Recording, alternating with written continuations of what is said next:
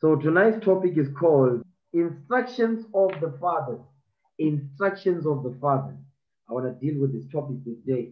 Instructions of the Fathers. Give me the book of Psalms, okay? Give me Psalm 78.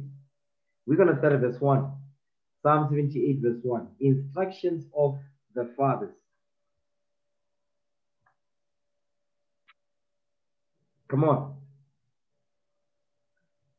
Your ears to the words of my mouth. Now, this is the Most High God speaking through King David. Hold this. Give me the book. This is the Lord speaking through King David. Give me the book of Second Samuel, chapter 23. Okay. Second Samuel 23. Let's start at verse 1. Second Samuel chapter 23, verse 1. Now these be the last words of David. David, the son of Jesse, said, and the man who was raised who was raised up on high, the anointed of the God of Jacob, and the sweet psalmist of Israel said. Now this is the Lord is going to be speaking through King David. Go ahead. The Spirit of the Lord spake by me, Mhm. and his word was and his word was in my tongue. You see that part right there? The Spirit of the Lord spake by me, and he and his word was in my tongue. Go ahead. The God of Israel said, The rock of Israel spake to me, Read. He that ruleth over men must be just, ruling in the fear of God. You see that part right there? That we were just we were just reading about that here in the book of Sirach 1. Read that again, verse 3. Read that again, verse 3. Second Samuel chapter 23, verse 3. The God of Israel said, The rock of Israel spake to me, He that ruleth over men must be just, He that ruling over in the fear of God. he says, He that ruleth over men must be just. Meaning what? You must be fearing the Lord. You must be keeping God's commandments. Okay? Ruling in the fear of God, ruling in the fear of the Most High. That's what we we were just reading that in the book of Ecclesiastes, chapter 1. Now, what I want to show you here is that the Lord spoke through David. Okay? He spoke through David. That's why the scripture says, The Spirit of the Lord spake by me, and his word was in my tongue. Now let's go back to Psalm 78, verse 1.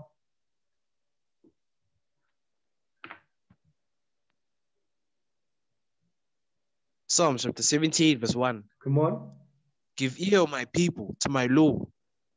Incline your ears to the words of my mouth. You see what it's saying? Give ear, O my people, to my law.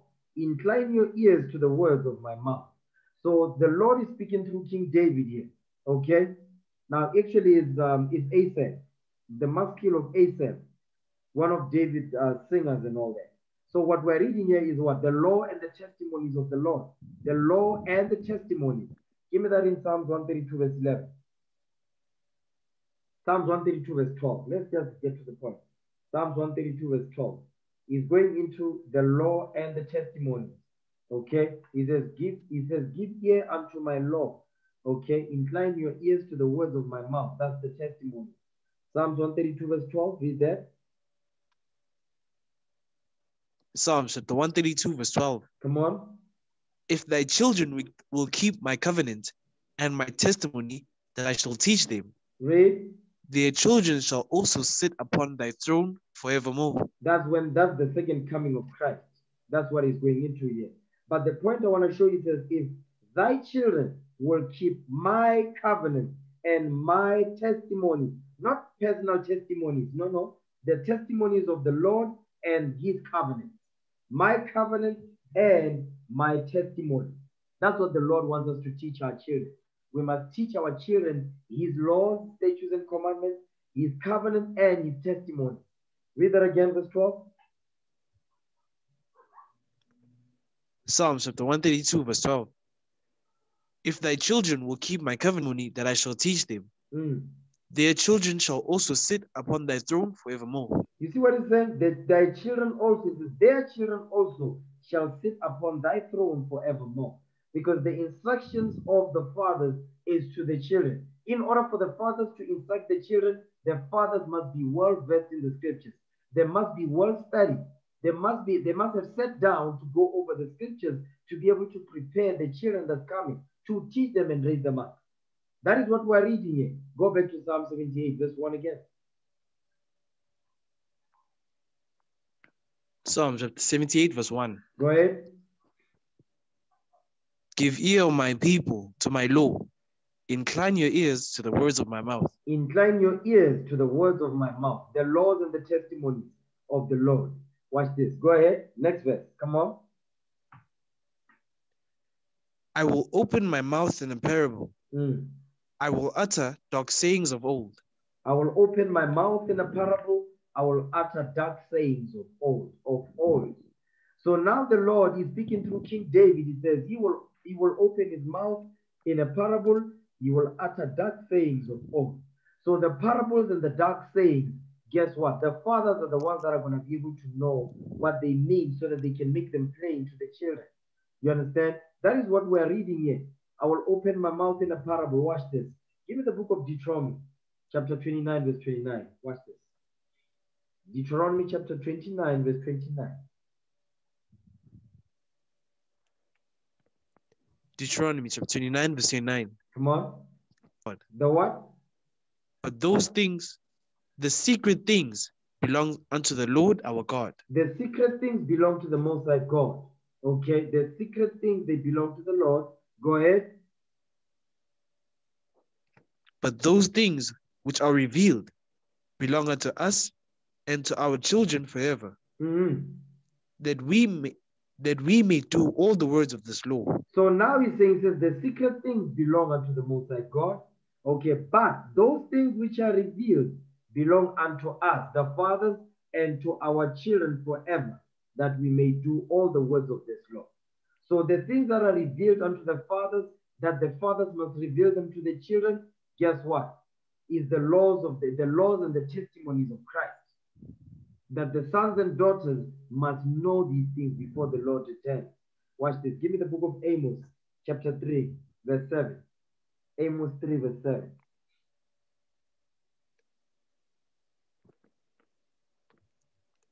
Amos chapter 3, verse 7. Mhm. He revealeth his secrets unto his servants the prophets. So the servants, which are the prophets, is the fathers which are commanded or ordained to do what? Ordained by the wisdom of the Lord to teach the children the laws of God. So the secret things, he says, surely the Lord God will do nothing, but he revealed his secrets unto his servants, the prophets. The things of old, the dark things of old, the parables, they are revealed to the what? To the fathers. Men that are well studied, that understands this Bible, that will be able to make it plain to the sons and daughters, so they may be able to apply it and teach it to their children after them. Okay, go back to Psalm 78, verse 2 again. That word parable there, the word Psalms parable- on. 70. The word parable just, just means metaphor, okay? It just means the similitude. You understand? The Lord, He explains one thing, He says one thing, but explaining another. Okay? Read that part again, verse 2.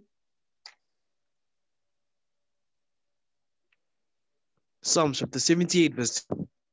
Utter dark sayings of old. I will utter dark sayings of old. The dark sayings of old is what? Is the history, the, the prophecies that were given to our forefathers from the time of Adam. Go ahead, verse 3.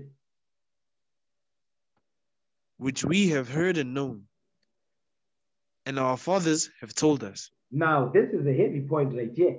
You see, verse 3 says, which we have heard and known, and our fathers have told us. So we have heard the what? The parables and the dark things of old, and we have known them. And our fathers, because of what our fathers have told us. So, in order for the fathers to teach, okay, to, to, to make known the mysteries of the Most High God, the law statutes, the laws and the testimonies, the fathers would have to have known the word of the Most High God, the laws and the testimonies. That means they are well studied, they understand what is written, they are able to make it plain and give explanation and give the sense of the scriptures. Watch this. Give me the book of Deuteronomy, chapter 1, verse 8. It says, Which we have heard and known, and our fathers have told us. Who are these fathers that have told us? And today, those same fathers, they are back and they are telling us again. Watch this. Deuteronomy chapter 1, verse 8. Deuteronomy chapter 1, verse 8. Behold, I have set the land before you. Go in and possess the land which the Lord sware unto your fathers, Abraham, Isaac, and Jacob, to give unto them and to their seed after them. So this is the promise that the Lord made with our forefathers, Abraham, Isaac, and Jacob, and to the sons and daughters of Jacob, and to their seed after them. That would be us today. Okay? So the fathers that they have heard, you understand, the fathers that have taught us that the children supposed to know, you understand, because we've had the fathers teach their teachers these things. We're supposed to apply those things to today. But because we did not grow up in the truth with the laws of God, now it's time for the Musa God to do what? To send the prophets, the same fathers that are good that have told us in the past, those same fathers are back today. Okay, watch this. Give me the book of Ecclesiasticus 44, verse 1. Sirach. Ecclesiasticus 44, verse 1. We're going to be jumping around in this chapter. So pay attention. Sirach 44, verse 1.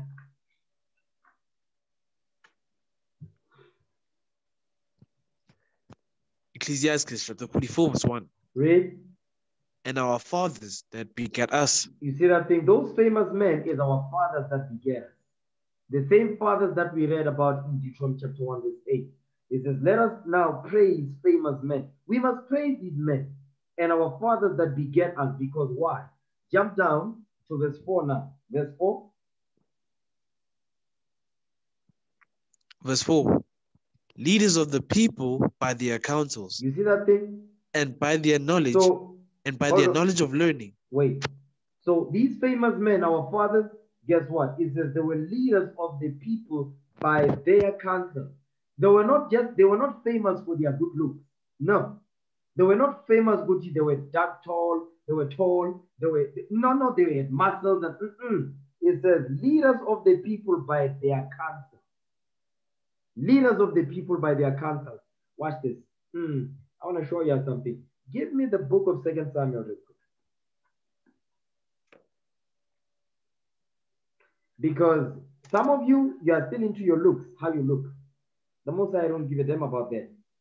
Watch this. Give me, mm, not second Samuel, I believe it's, yeah, first Samuel. Let's see. Give me first Samuel chapter 16, okay? This is when King David was going to be made uh, chosen. Watch this. First Samuel chapter 16, let's start at verse, let's start at verse 6. You know what? Let's start at verse 4. You know what? Let's start at verse First 1. Samuel chapter I like this history. Let's start at verse 1. First Samuel 16, verse 1. I really like the book of Samuel. You see those two books? My favorite books. Okay. Read what you got. First Samuel 16, verse 1. First Samuel chapter 16, verse 1. And the Lord said unto Samuel, How long wilt thou mourn, wilt thou mourn for Saul, Uh-huh. seeing I have rejected him from, re- from reigning over Israel? Fill thine horn with oil and go. I will send thee to Jesse, the Bethlehem, the Bethlehemite, for I have provided me a king among his sons. So now the Lord is telling Samuel, listen, stop mourning for Saul already. Stop mourning for Saul. How long are you going to mourn for Saul? It says, fill thine horn with oil and go. I will send thee to Jesse the Bethlehemite, for I have provided me a king among his sons. So the Lord has already chosen who's going to be king over Israel. Next verse. Go ahead. And Samuel said, How can I go? If Saul hear it, he will he will kill me. And the Lord said, Take an heifer with thee, and say, I am come to sacrifice to the Lord. This is the most that God now is teaching Samuel to listen. If Saul is if, if Saul is going to have a problem, because Samuel is asking the question, he says, How can I go? If Saul hear it, he will kill me. Why are we reading this for? Why is Samuel saying this? It's the same thing that Micaiah was saying. It's the same thing Micaiah was compelled to what? To speak the things that Ahab wanted to hear. Not the truth, but the things that Ahab wanted to hear because the king had power to kill and to give men a command to kill or to save life. So that's the same thing that Samuel is moving in. He's moving in that same spirit because he understood the power that King Saul had because he was the king. Okay, read on. And call Jesse to the sacrifice, and I will show thee what thou shalt do. Read. And thou shalt anoint unto me him whom I name unto thee. So now what you are seeing here, the Lord is saying, listen, in order for Saul not to And be Samuel did that. on. Wait, wait, wait, wait. In order for Saul not to be suspicious, the Lord told Samuel, said, if Samuel had to ask you, take an heifer with you. He says, no, I'm going to say, I'm going to perform a sacrifice so that he's not uh, suspicious of what's going on. You see, the Messiah attacked. You know, the Messiah got attacked. Watch this. Go ahead. Now I want to show you something in this four. You see, the prophet Samuel, he was a mighty prophet. The prophet Samuel was a mighty prophet. Now look at verse 4. You see, our forefathers, our forefathers didn't play games. When it came to this Bible, they did not, they were not shaking and jiving when it comes to this Bible. They didn't play. Why? Watch this. Read verse 4. I want to show you something. Pay attention, especially you men. Pay close attention. Yellow makes me sad. This is not the time for it. Listen here. Read what you got. Go ahead. First Samuel chapter 16, verse 4. And Samuel did that which the Lord spake, and came to Bethlehem. And the elders of the town trembled at his coming, They did what? and said, Comest thou peaceably? Read that again. Read that again, verse 4. First Samuel chapter 16, verse 4. And Samuel did that which the Lord spake, and came to Bethlehem. And the elders of the town trembled at his coming, and said, Comest thou peaceably? So you see what they are asking? They are asking Samuel, listen, are you coming in peace? Are you coming? Because they knew when Samuel walked the scene, when he entered into, and there was some beer, Samuel was putting wicked Negroes to death with the sword, with the edge of the sword. That's what he was doing. That's why when he arrived, they asked, Are you coming peaceably, Samuel? this is some this beautiful history right here. Okay, next verse. Go ahead. And he said, Peaceably, I am come to sacrifice unto the Lord. Sanctify yourselves, sanctify yourselves, and come with me to the sacrifice. And he sanctified Jesse and his sons, and called them to the sacrifice. So now, remember, he took an heifer, he went to the Bethlehem, Jesse. Okay, Jesse, the sons of Jesse, one of them was, the King David was the son of Jesse. So now what you are seeing here is what? A new king is going to be chosen, right? Watch this. Next verse. Read verse 6 now. Now all the sons of Jesse are going to be what? Sanctified by this sacrifice that Samuel is bringing so that a new king can be chosen instead of Saul. Okay, read verse 6 now. Read verse 6 now. Verse 6 And it came to pass, when they were come, that he looked on Eliab and said, Surely the Lord's anointed is before him. So now you look at Eliab. Eliab was, was one of the son of Jesse. So now Samuel is looking at him is like, "Hmm, surely this is the one that the Lord is choosing. Next verse, watch this. Go ahead. But the Lord said unto Samuel, Look not on his countenance Stop right there. or on the height of his stature, Hold on. because I have It says, you see what the Lord is telling Samuel? He says, Samuel, no, no, don't look at his countenance, okay, or on the height of his stature. You see, the most that God doesn't care about that thing. He says, don't look at the on his countenance, don't look at the height of his stature. You understand? Read on. Watch this. because I have refused him. For the Lord seeth not as man seeth. For man looketh on the outward appearance, but the Lord looketh on the heart. You see that thing? Meaning the Lord looks on your mind. Is this brother, does he have the right mindset so that he can be used in the Lord's vineyard? Is does this sister have the right mindset that she can be used in the Lord's vineyard? So on and so forth. And guess what? Their fathers are able to know that thing. We can pick that thing up because fathers know they know their children that this one is got this spirit, this one she's got that spirit right there. That so on and so forth. And they must be groomed according to that spirit, as that says the Lord. Okay. So now he's saying, don't look at it, don't don't judge him by on his outward appearance per se. He says, don't look at how how how tall he is or how short, how skinny, how fat. No, don't look at that. I says, I'm looking in the mind. How his how his mind works, how he thinks. That's what I'm interested in. Because how you think is must be based on how God thinks. That's how the most, that's when the Lord will be able to deal with you. Watch this go back, go back to uh, Ecclesiastes chapter 44, verse 4 again.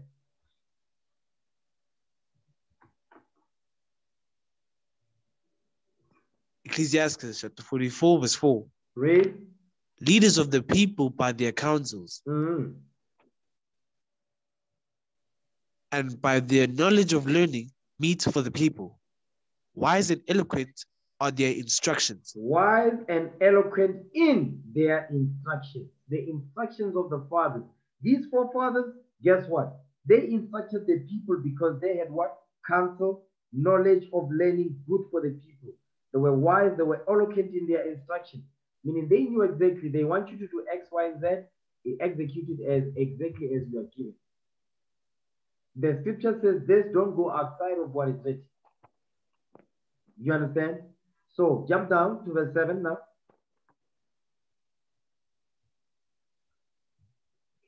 Verse 7. Verse 7.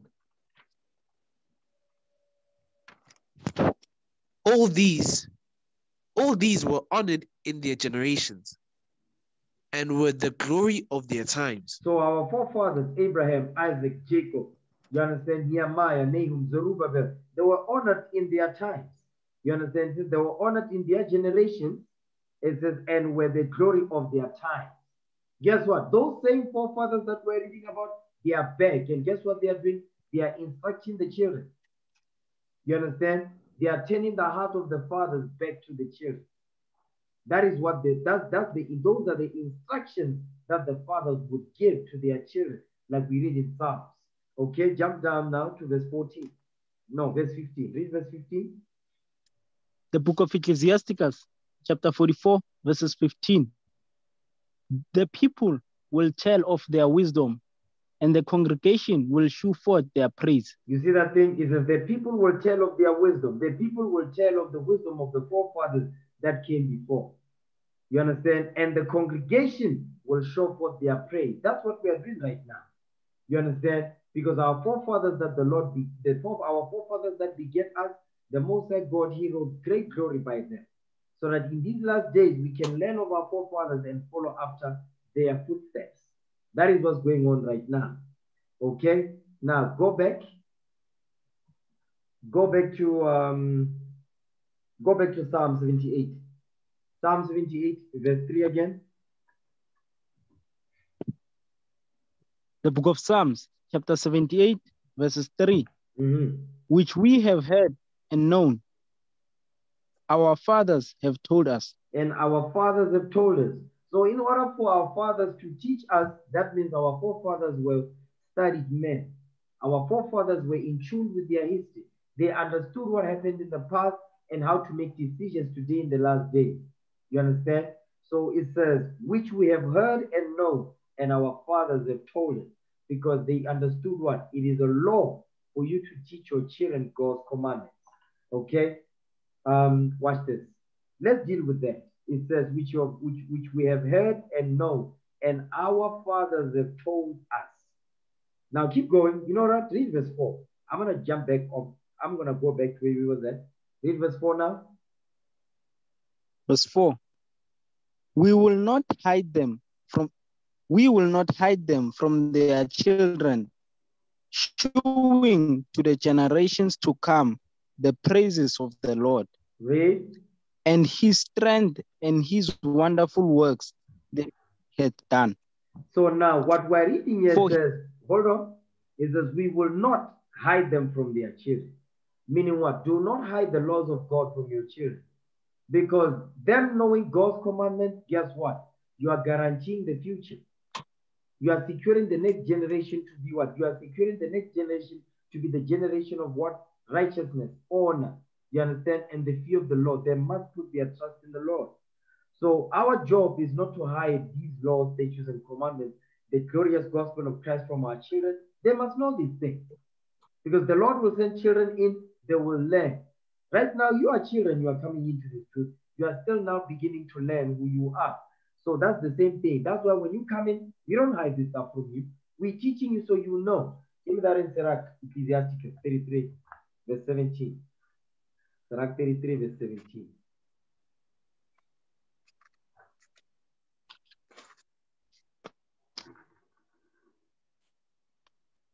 The book of Ecclesiasticus, chapter 33, verses 17.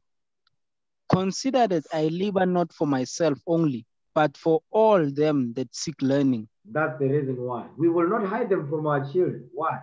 Because we don't labor for ourselves only, but to all them that seek learning. Our children are going to come in, they'll be seeking to learn who they are. They are thirsty for this truth. Our job is to teach them so we can not, so the Lord can quench their thirst with the word of God. The only thing that is going to fulfill us is the word of the Most High, because that's how we move. That's our vibration. Our vibration is God's command. Anything outside of that, we don't recognize it. Corrupts the nation of Israel, corrupts our mind. Look at us now. Okay, watch this. Um, go back to Psalm 78, verse 4 again. The book of Psalms, chapter 78, verse 4. We will not hide them from their children, showing to the generations to come the praises of the Lord and his strength and his wonderful works that he had done. So our job is not to hide the laws of the Most High God from our children. Instead, the Lord is saying we must show to the generations to come the praises of the Lord. That's what Tobit was saying. It is good to praise God and exalt his name. You understand? We must praise him for the wonderful things that he done in the sight of all them, of all them that live. That's the same thing that King David is saying. You understand? And his strength and his wonderful works that he has done. When we was delivered out of Egypt, that's the wonderful things that the Lord has done for us. When and he gave us the kingdom. That's a wonderful, that's a glorious thing. So we must teach our children, they must know this thing. Okay, next verse. Go ahead. For he established a testimony in Jacob and appointed a law in Israel, which he commanded our fathers that they should make them known to their children. You see what he's saying? He established a testimony in Jacob. The testimony is what we read in verse 1 the law and the testimony. You understand the covenant of the Lord and the testimonies of the Lord. Read that again, verse 5. The book of Psalms, chapter 78, verse 5. For he established a testimony in Jacob and appointed a law in Israel, which he commanded our fathers that they should make them known to their children. So the Most High God, he instructed the fathers. That's why in verse, jump up to verse 3 again. Read verse 3. Psalms 78, verse 3, which we have heard and known, and our fathers have told us. And our fathers have told us, because our fathers, where did, where did they learn this from? Our fathers. The Most High God is the one that gave the word. Give me that in Psalm 68, verse 11. Psalm 68, verse 11.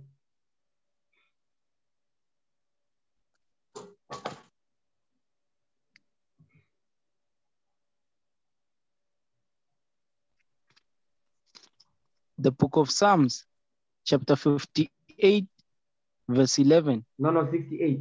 68. 68. 68, verse 11. The book of Psalms, chapter 68, verses 11. Mhm. The Lord gave the word. Great was the company of those that published it. So the Lord is the one that taught our fathers. The Most High God is the one that taught our forefathers the words that are written in this Bible. You understand? It says, Great was the company of those that published it. Watch this. Give me the book of Isaiah 30, verse 8. Great was the company of those that published it. Isaiah chapter 30 and verse 8.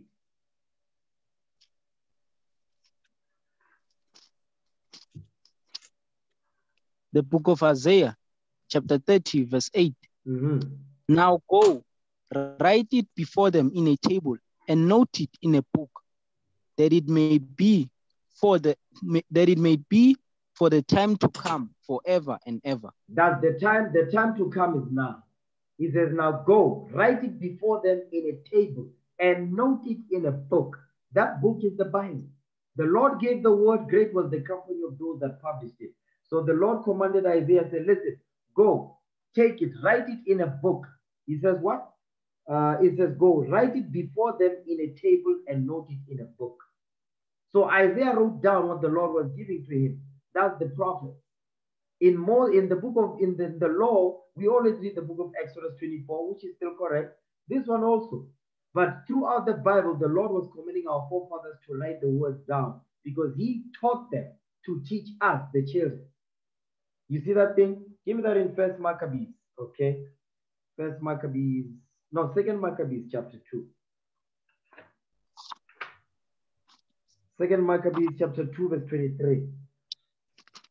The book of Second Maccabees, chapter 2, verses 23. Come on.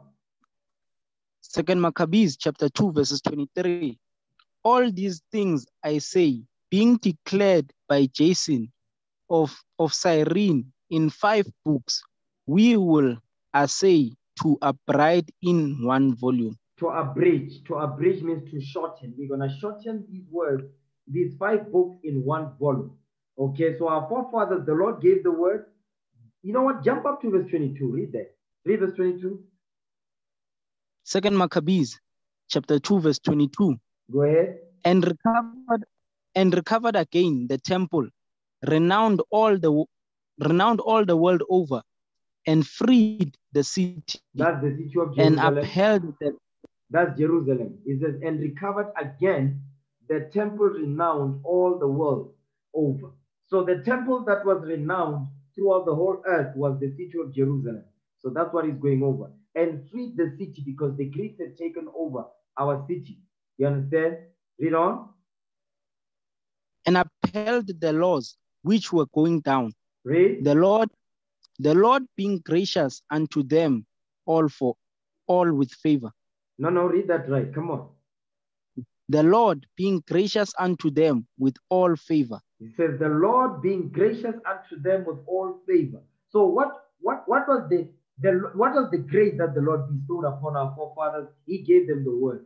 He put the spirit upon them to abridge the book, to essay them, to abridge them into one volume for our benefit. So the Lord gave the word, great was the company of those that published it, our forefathers that beget us, those famous men, men that were leaders of what leaders of the people by their custom. You understand? They had knowledge good for the people. Go ahead. Verse 24. verse 23 all these things i say being declared by jason of cyrene in five books we will assay to abridge in one volume Go ahead. for considering the infinite number and the difficulty which they find the desire to look into the narrations of the story for the variety of the matter Meaning what? Different historical accounts and prophecies that they had to put together in the spirit of Christ for our benefit, it says, to look into the narrations of the story, meaning the historical stuff, the history, the parables, the dark sayings. That's what they were putting together for us in these last days. Read on. we have been careful that they that will read may have delight, and that they that are desirous to commit to memory might have ease, Mm. and and that all into whose hands it comes might have profit. You see that thing? So the whole point of them doing this, painstakingly going through the process of doing that, was to do what? Was so that we can profit out of the record, the, the word of God that was given to them by the Most High God to teach us the children. You understand? Read. Therefore, to us that have taken upon us this painful labor of abridging it was not easy, but a matter of sweat and watching. You see that thing? The, but it wasn't easy to put the books together. Guess what? So it is today. It was painful for them to put the books together. It is painful today to go over the classes, to put the classes together to teach. Guess what? It's not easy. It's a painful process. Why? Because we love the people. So you will, you're gonna go through the pain to go to do what to do what is necessary in the spirit of Christ to put the words together to study, to put the pieces of the puzzle together in the spirit of Christ as we keep the commandments, and the Lord will give the sense. We take the same sense, we give it to the people. The people have become sensible. Go ahead. even as it is no ease unto him that prepareth a banquet and seeketh the benefit of others. Read. Yet, yet, for the pleasuring of many, we will undertake gladly these great pains. That's some heavy stuff right there. We will undertake gladly these great pains. Why? For the people. Because our forefathers, they love the people. That's why we must praise these famous men. So those same men back then, they are back today. Go ahead. leaving to the author that exact handling of every particular and laboring to follow the rules of an abridgment. Mm, go ahead. For as master, for as the master builder of a new house must care for the whole building, but he that undertaketh to set it out and paint it must seek out fit things for the up, for the appro, for the Adorning. adorning Uh-huh. for the adorning thereof. Even so, I think it is with us. Because right now we're building the house of the Most High God. Give me that in Matthew 15, verse 24. You know what? Start at Luke. Luke 14, verse 23. Luke chapter 14, verse 23. You know what? Hmm, no, don't go there. Give me the book. Go back to Isaiah 30, verse 8. Isaiah, I think that, that I think I'll go there. Isaiah 30, verse 8. Read that again. The book of Isaiah, chapter 30, verse 8. Read. Now go right now go write it before them in a table and note it in a book that it may be for the time to come forever and ever. So the same thing that our forefathers did during this time, Jason of Cyrene and the brothers, guess what they did? They had to sit down, go through great pains to put the books together for the benefit of our people, for the benefit of their children, which is us today. Now, what you want to notice is, is that for as a master builder of a new house must care for the whole building, the whole building is the nation of Israel. The house is talking about the house of Israel. You understand? But he that undertaketh to set it out and paint it must seek out fit things for the adorning thereof. The fit things is talking about what? These fit things is talking about the understanding of the scriptures, how to put the pieces of the puzzle together. That's what he's going into. Isaiah 30, verse 8 again. The book of Isaiah, chapter 30, verse 8. Read. Now go write it before them in a table and note it in a book that it may be for a time to come forever and ever. So now, what our forefathers did in the book of the Maccabees, that is the same thing that Isaiah was doing. Guess what? Yes, they the Lord put the Spirit upon them. The Lord gave them the word. They published the book. They wrote everything down that the Musa was giving to them. For what? For our benefit. So today, our job is to go into this book to consider the pains they went through to put the to put the words together in the Spirit of Christ. So right now we are doing the same thing for our people that are coming in to learn. We have to go through the pain of study because it's painful to study. You have, you have to go through the pain. You have to remember the stuff. You have to put the pieces together. You have to meditate. You have to remember. You have to put scorecards to see, "Hmm, do I remember this precept? How does it, if I bring it out, how am I going to put it together? Listen, it's not a small thing. It's a, the one, the most, that's why not everybody going to get this. And the Most is doing this is by design, so that the Most High can set order in the nation of Israel. Watch this. Give me the book of Habakkuk, chapter 2, verse 2. Habakkuk, chapter 2, verse 2.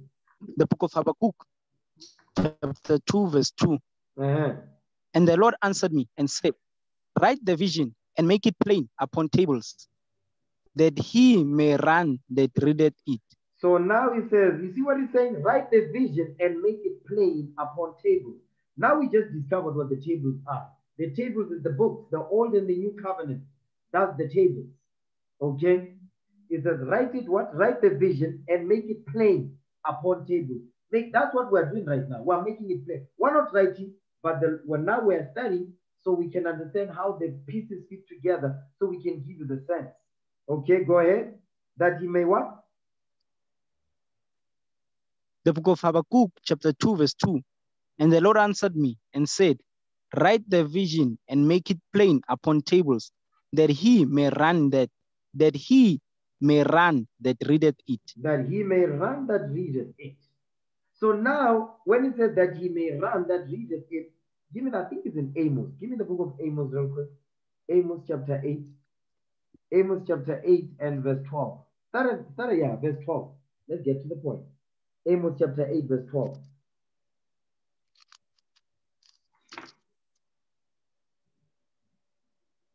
The book of Amos, chapter 8, verse 12. Mhm. And they shall wander from sea to sea, and from north even to the east, they shall run to and fro to seek the word of the Lord and shall not find it. You see when it says, you see in, in, in Habakkuk when it says that they may run that readeth it. Their run is talking about what? Our people are going to be running from what? They're going to be going to different places to look for the word of the Lord, the true understanding of the Bible, and they're not going to find it. That's what the Lord is saying right here. So now, our the Lord gave the word, our forefathers, they wrote the word, they wrote everything that the Lord gave unto them. You understand? And they understood what they was writing. Some of the mysteries was not unlocked until now. Okay? Now, as we are reading the scriptures, we understand, we can see, okay, it says the whole earth is going to be like an oven. Now you have to ask yourself, when the scriptures talk about in Malachi 4 verse 1, okay, but during that time, they could not have understood really what that meant until this time, until World War One, until World War Two. Now we understand, oh, World War Two, Hiroshima, Nagasaki, when they built the nuclear bomb. Mm. So now we know what Malachi was talking about when he was saying the whole earth is going to feel like an oven. What type of weapon can do that? A nuclear missile. So that's the sense of the scriptures. So when we go back now, go back to um, Psalm 78. Go back to Psalm 78, verse 3 again. No, verse 4. No, yeah, verse 3. Verse 3. Psalm 78, verse 3. The book of Hmm. Psalms, Wait. chapter 78, verse 3. Hold on. I don't think we finished Maccabees. Could you go back there? Go back to Maccabees. I'm getting too excited. Second Maccabees chapter 2. Chapter 2 and verse verse 30 now. The book of Second Maccabees, chapter 2, verse 30. To stand upon every point and go over things at large, and to be curious in particulars belonging to the first order of the story. So now you see what they are saying. It says to stand upon every point and go over things at large, meaning the whole books. You understand? And to be curious in particular. They had to be curious in particular, make sure that everything in its proper order, everything fits together. The words are used correctly. You know, the right words are used in different verses to bring out certain points. That's what they are going into. Go ahead. but to use brevity and avoid much laboring of the work is to be granted to him that will make an abridgment. So now he says they had to take those books and what? And shorten them. That's why it says, but to use brevity and avoid much laboring of the work is to be granted to him that will make an abridgment.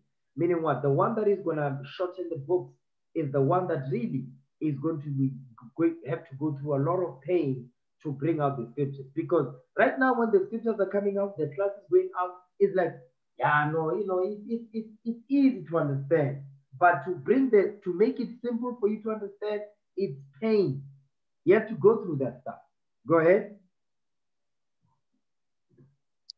Here, here then will we begin the story, only adding thus much to that which has been said, that it is foolish, that it is a foolish thing to make a long prologue and to be and to be short in the story itself. So now they're saying, listen, we're not going to do that. Instead, we're going to shorten it. Why? For our children in these last days. That's why we have the 66 books in the Old and New Covenant plus the, the Apocrypha. You understand? So 66 books plus the books of the Apocrypha.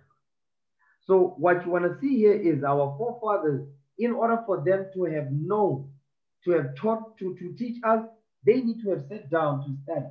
Because who gave them the word? The Lord gave the word, and they wrote the stuff down. Watch this. Go back to Psalms now, 78. Psalm 78 and verse 3 again. The book of Psalms, chapter 78, verse 3, which we have heard and known, and our fathers have told us. In order for our fathers to teach us, you understand, they need to have been studied men. They need to have been well studied in the scriptures. Go ahead, verse 4. We will not hide them from their children, showing to the generations to come the praises of the Lord Read. and his strength and his wonderful works that he had done. Come on. For he established a testimony in Jacob and appointed a law in Israel, which he commanded our fathers that they should make them known to their children. So the Most High God commanded our fathers to teach us the children. So it is today. The same thing that happened back then is happening today. So now, in order for the fathers to be able to sit down and teach their children God's commandments, His laws, and His testimonies, the fathers need to be well studied in the scriptures to know where to go, to know what scriptures to bring out to deal with a specific spirit or a sin or a rebellion. The fathers need to go into the scriptures to know it, to know them. You understand? And to bring the scriptures out to give the sense. Watch this. Now jump up. Remember, it says, um, it says that uh, that they should make them known to their children. They should teach their children. Okay, go ahead. Read verse six. Verse 6 That the generation to come might know them, even the children which should be born, who should arise and declare them to their children. You ever notice? You notice the Most High God is about the nation. The Most High God is about the nation, and that's what the Lord is trying to teach us as well. That we must think about the greater good. We must think about the whole nation. You understand? Yes, we are called individually into this truth, but it's about nation building. This is nation building time. Understand that? So when it says, For he established a testimony in Jacob and appointed a law in Israel. So this law was what? Was to be taught to the children so that the generations to come might know them. Even the children who should be born, who should arise and declare them to their children. So this is generational wealth of knowledge, wisdom, and understanding, so we can rule the earth. Okay, go ahead. The reason why the reason why we're supposed to teach our children the laws of God, this is why. Read verse 7. Verse 7 That they might set their hope in God and not forget the works of God, but keep his commandments. So now that's the key right there. That they might set their hope, that they might set their hope in God. Because today our children, our children don't, don't set their hope in God. They set their hope in what? They set their hope in um in their toys they buy. They buy them. They set their hope in Xbox. They set their hope in PS3s and PS4s and all that. They set their hopes in Spider-Man. They set their hopes in the Superman. Okay, Transformers toys that. They set their hopes in there. They set their hopes in these celebrities and and and album rap. You understand? And uh, the soccer players. They set their hopes in that, not in the Lord. And who's responsible for that? The fathers are responsible to make sure that that doesn't happen. They must set their, their hope in the Lord, meaning their trust, their faith must be in the Lord. And when we do that, here's what's going to happen. Give me that in Second Ezra chapter 1.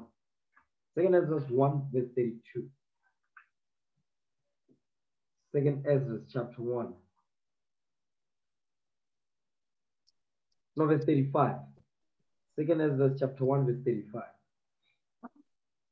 Second book of Ez- Ezra, chapter 1, verses 35.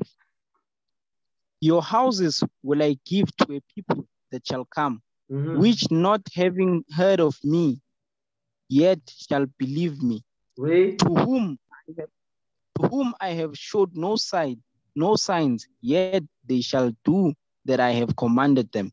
You see what it's saying? It says, Your houses will I give to a people that shall come. We are the people that will come. That we, we're coming in now into the truth. You understand? Which not having heard of me, yet shall believe me. Why? Because we're going to set our hopes in the Lord. Who's going to make sure that happens? The fathers will make sure that that thing goes down. Okay, go ahead. Verses 36. They have seen no prophets, yet they shall call their sins to remembrance and acknowledge them. They have not seen the prophets. We didn't see the prophets with our own eyes. We didn't see Jonah being eaten by the fish. We didn't see Christ walk on water. We didn't see that. We didn't see Moses part the Red Sea. But it says, Yet they shall call their sins to remembrance and acknowledge them. That is what's going on right now. Go ahead.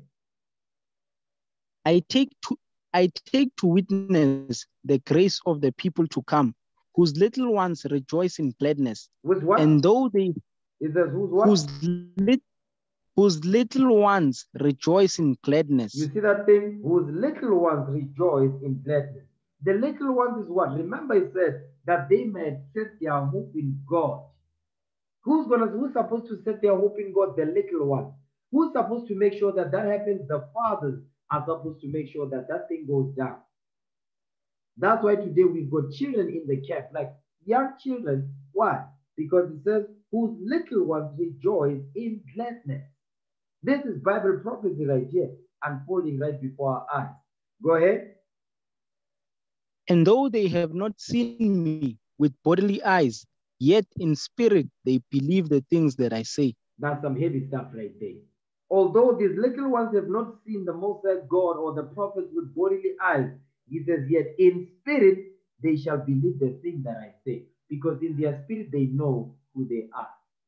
They are just waiting for the prophets to come to activate them with the word of the Most High.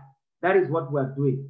Because when we was in Soweto, I saw the little ones rejoicing at what at hearing the word of the Most High.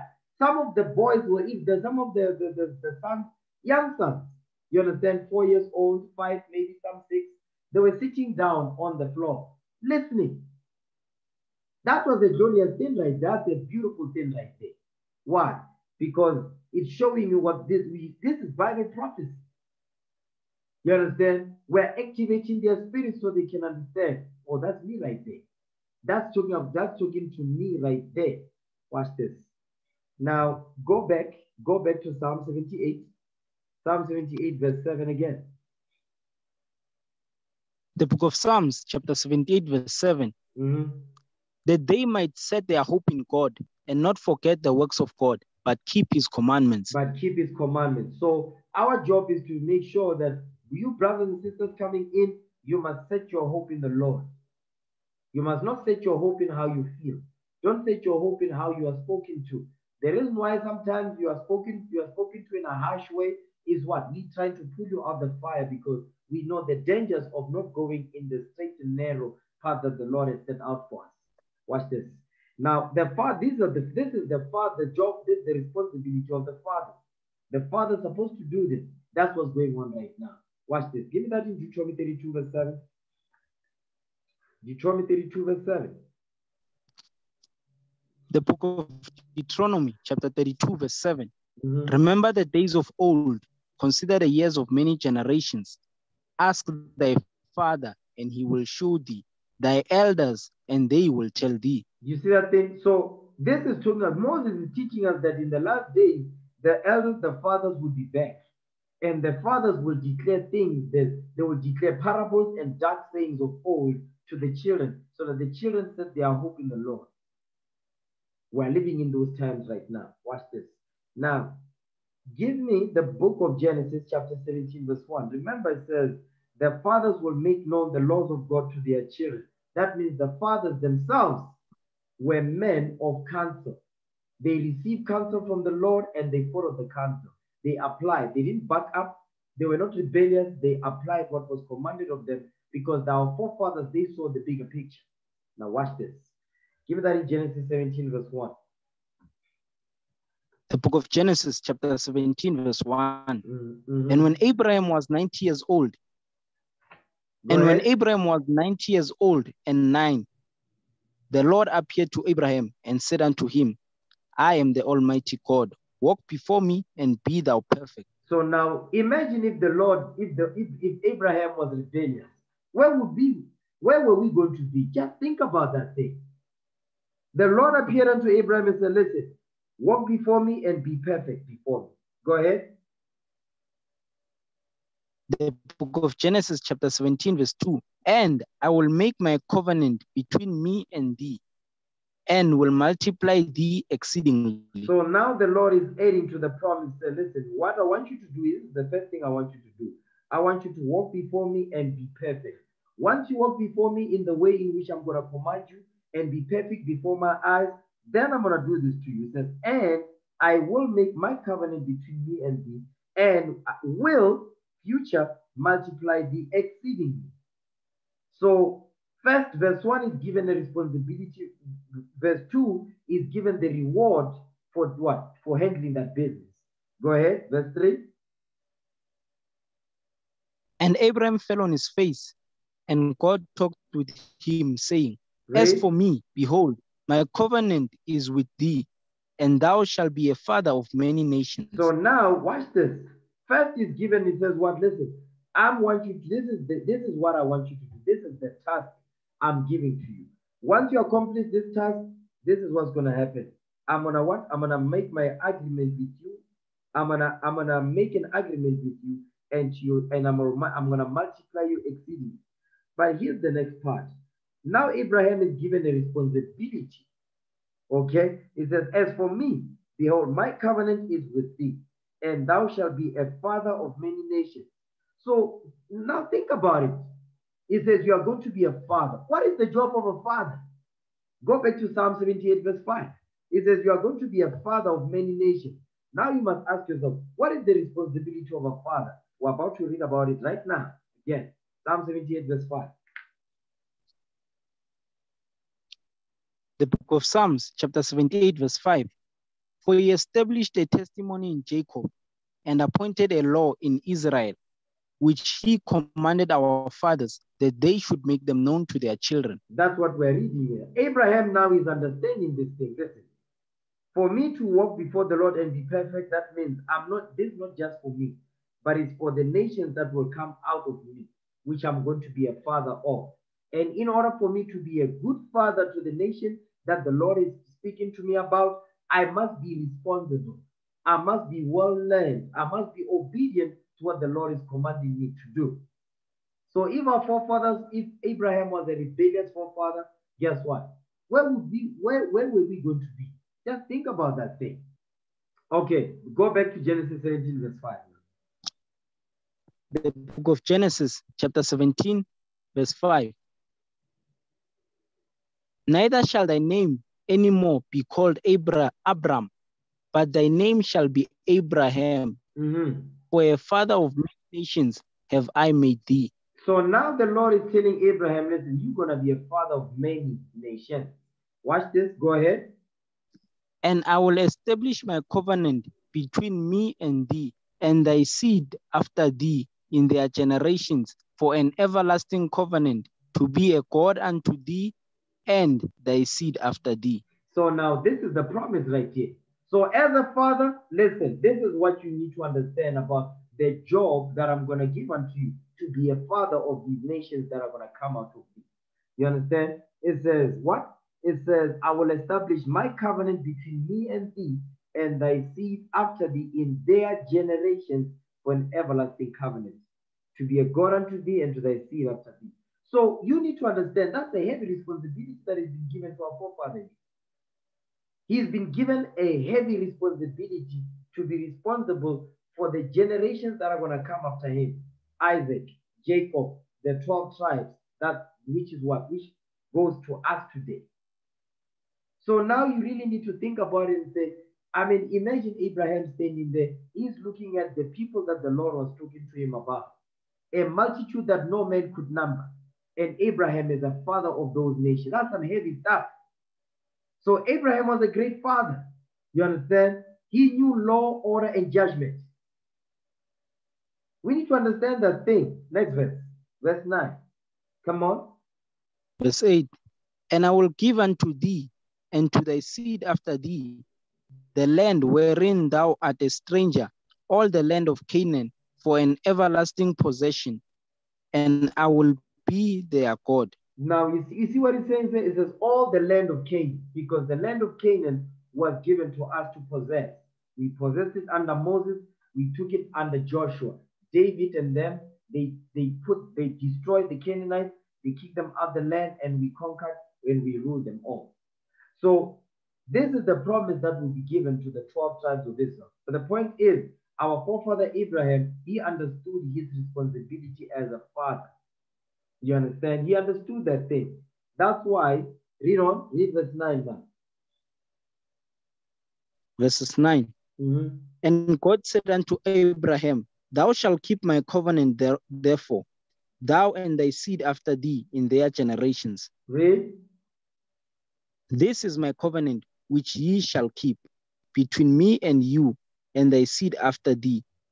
Every man child among you shall be circumcised. Now, so this is the covenant now. This is the covenant of circumcision. Okay? The circumcision that was the covenant of circumcision that the Lord made with Abraham, it was not circumcision first, No, but he was given, Abraham had great faith. And then he sealed his faith with circumcision. Okay, go ahead. And ye shall circumcise the flesh of your foreskin, and it shall be a token of the covenant betwixt me and you. Read. And he that is eight days old shall be circumcised among you. Every man child in your generations, he that is born in the house or bought with money, or any stranger which is not of thy seed, he that is born in thy house, and he that that is bought with thy money must needs be circumcised. Go ahead. And my covenant shall be your flesh, shall be in your flesh for an everlasting covenant. So now this covenant of circumcision was an everlasting covenant. That's why we still got to circumcise today. The men. The men still are supposed to chop off their foreskin. Okay, go ahead. Verse 14. And the uncircumcised man child, whose flesh of his foreskin is not circumcised, that soul shall be cut off from his people. He hath broken my covenant. So this is the covenant that the Lord made with Abraham. And the covenant, that covenant will what? Will go over the seed that will come out of Abraham and to the, the, the, the, the next generations that are coming. So that we must be taught that the Lord made a covenant with our forefather Abraham and he didn't break that covenant. You understand? So today we're still benefiting, we're still what? We're still and we're still due the promises that was made of the covenant that we're reading. You understand? Watch this. Jump down to verse 19 now. The book of Genesis, chapter 17, verse 19. And God said, Sarah thy wife shall bear thee a son indeed, and thou shalt call his name Isaac.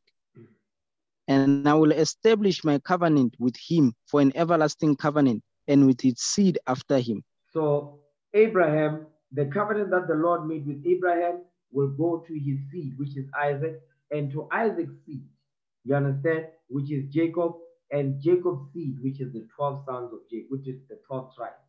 So now this covenant right here, remember, this covenant was only given to our forefather Abraham because our forefather Abraham, what did he do? He kept the commandment of the Most High.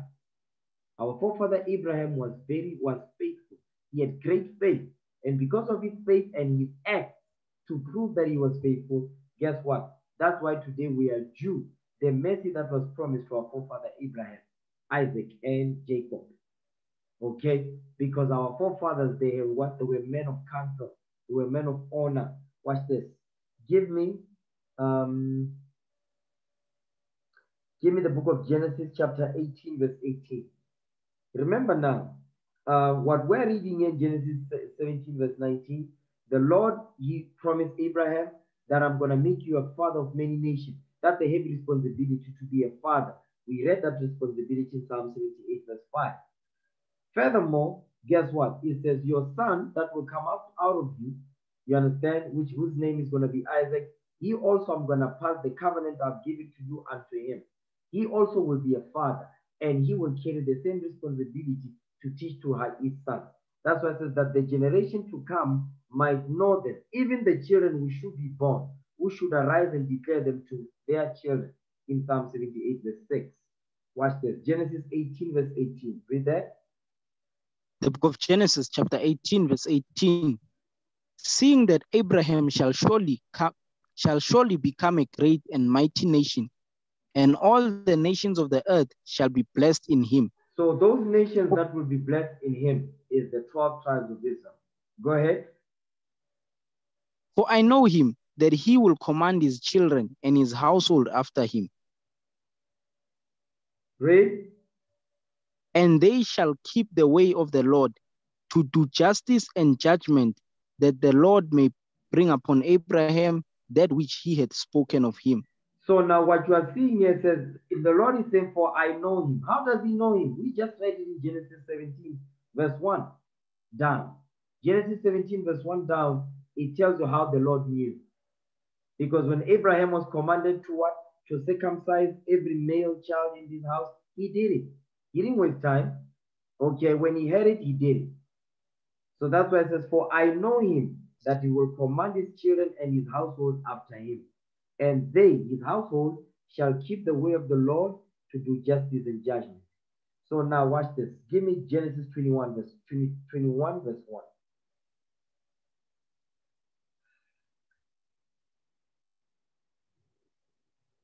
Come on, Genesis 21, verse 1. One. And the Lord visited Sarah, and as he had said, and the Lord did unto Sarah as he had spoken. Read. For Sarah conceived and bare Abraham a son in his old age, at the set time of which God had spoken to him. Read. And Abraham called the name of his son that was born unto him, whom Sarah bare to him, Isaac. So now you notice this is the most high genius. You see the way this thing is written? Read verse 3 again. Watch this. The book of Genesis, chapter 21, verse 3. And Abraham called the name of his son there was born unto him, whom Sarah bare to him, Isaac. You see what it, says? And Abraham called the name of his son that was born unto him, whom Sarah bare to him, Isaac. So the reason why it's been mentioned here, the Most High God is making sure that today in these last days, because guess what? He knew he knew that Ishmael is going to revolt, and that's exactly what Ishmael did. That's why today they say no, Ishmael is the chosen, Jacob, uh, Isaac is not. In the Christian church, they say Esau is the chosen and Jacob is not. That's why he is mentioning whom Sarah bare to him Isaac. Because now, now you have to ask yourself, okay, so the chosen seed that came out of Abraham, who was the mother? Sarah was the mother, not Hagar. You see that thing?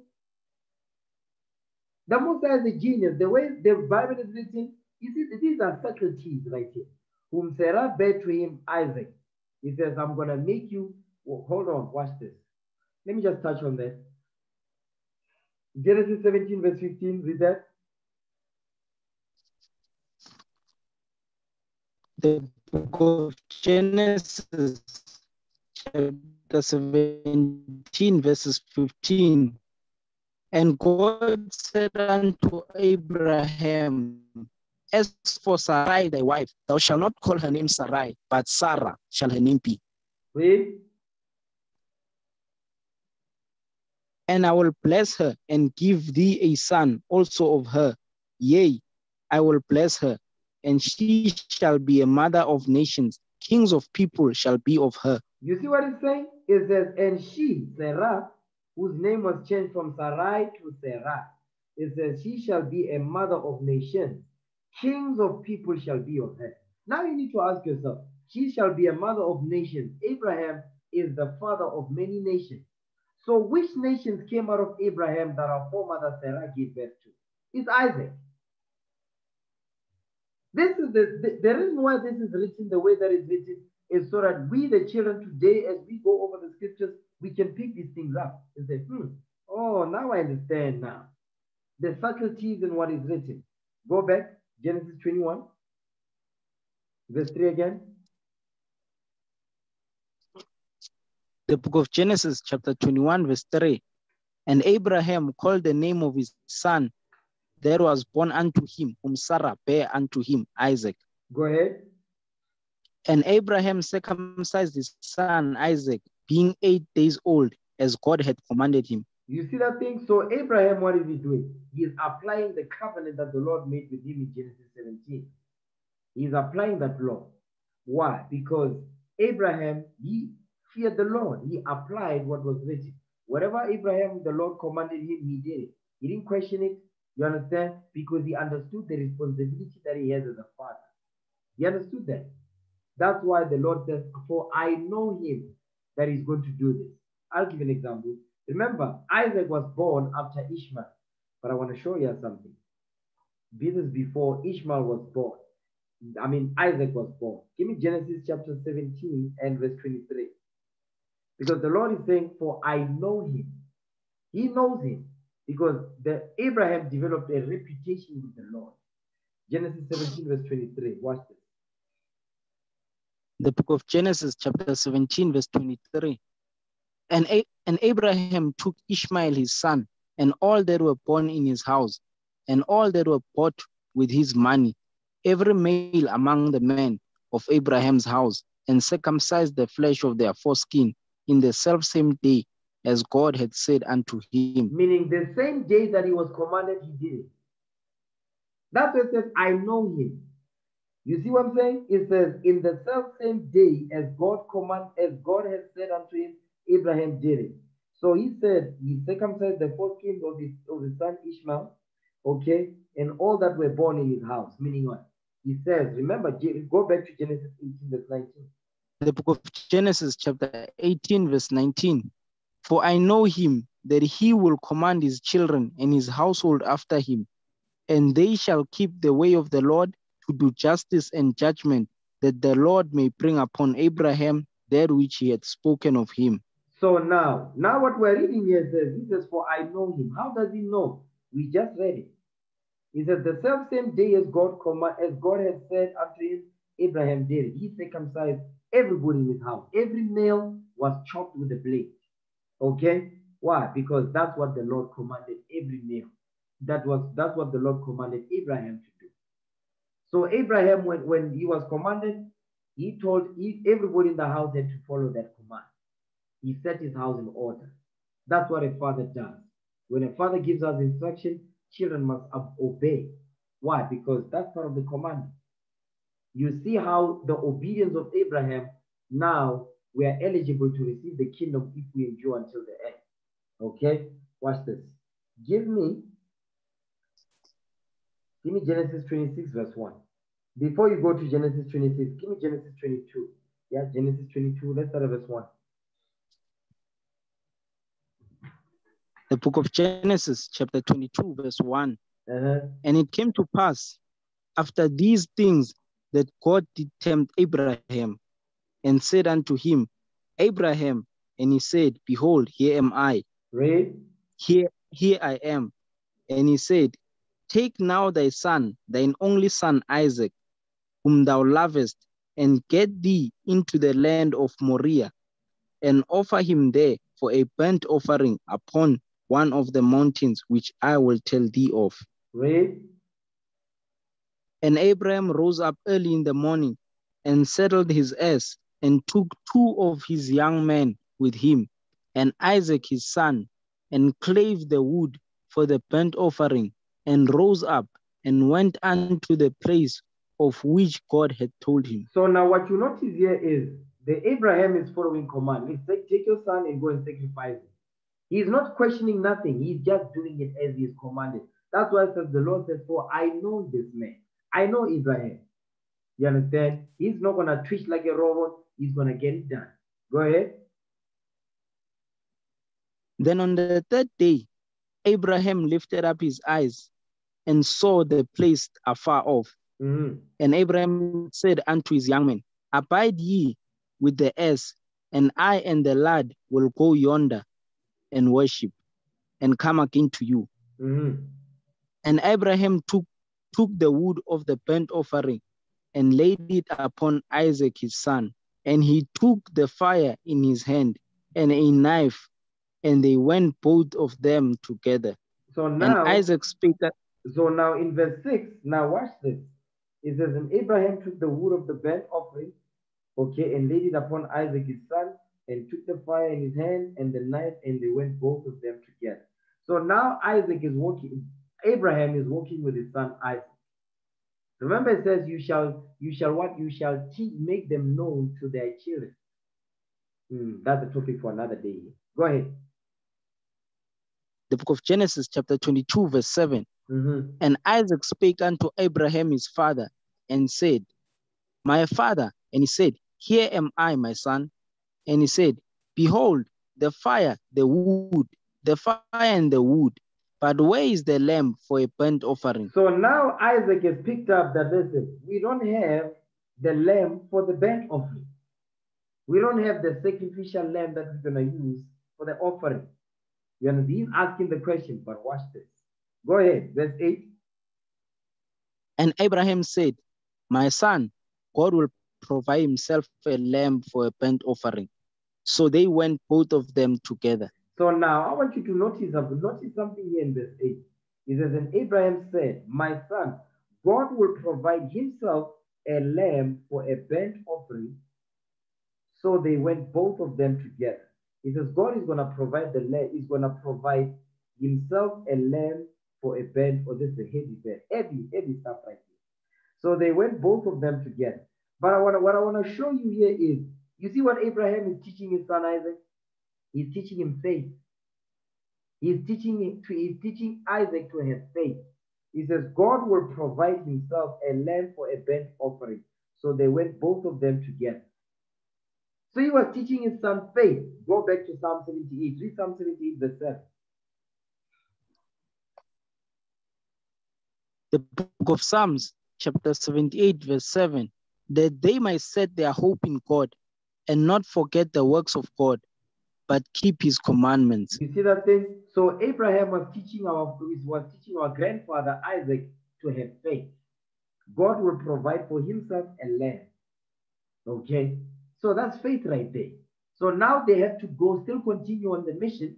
The mission is not aborted. The mission is a go. They are still going on on the mission. Now, Isaac asked the question because he noticed something odd. Where's the lamb? He said, Don't worry, the Lord will provide this day. So it is today. There's certain things that you're not going to understand in this truth yet because it's not time.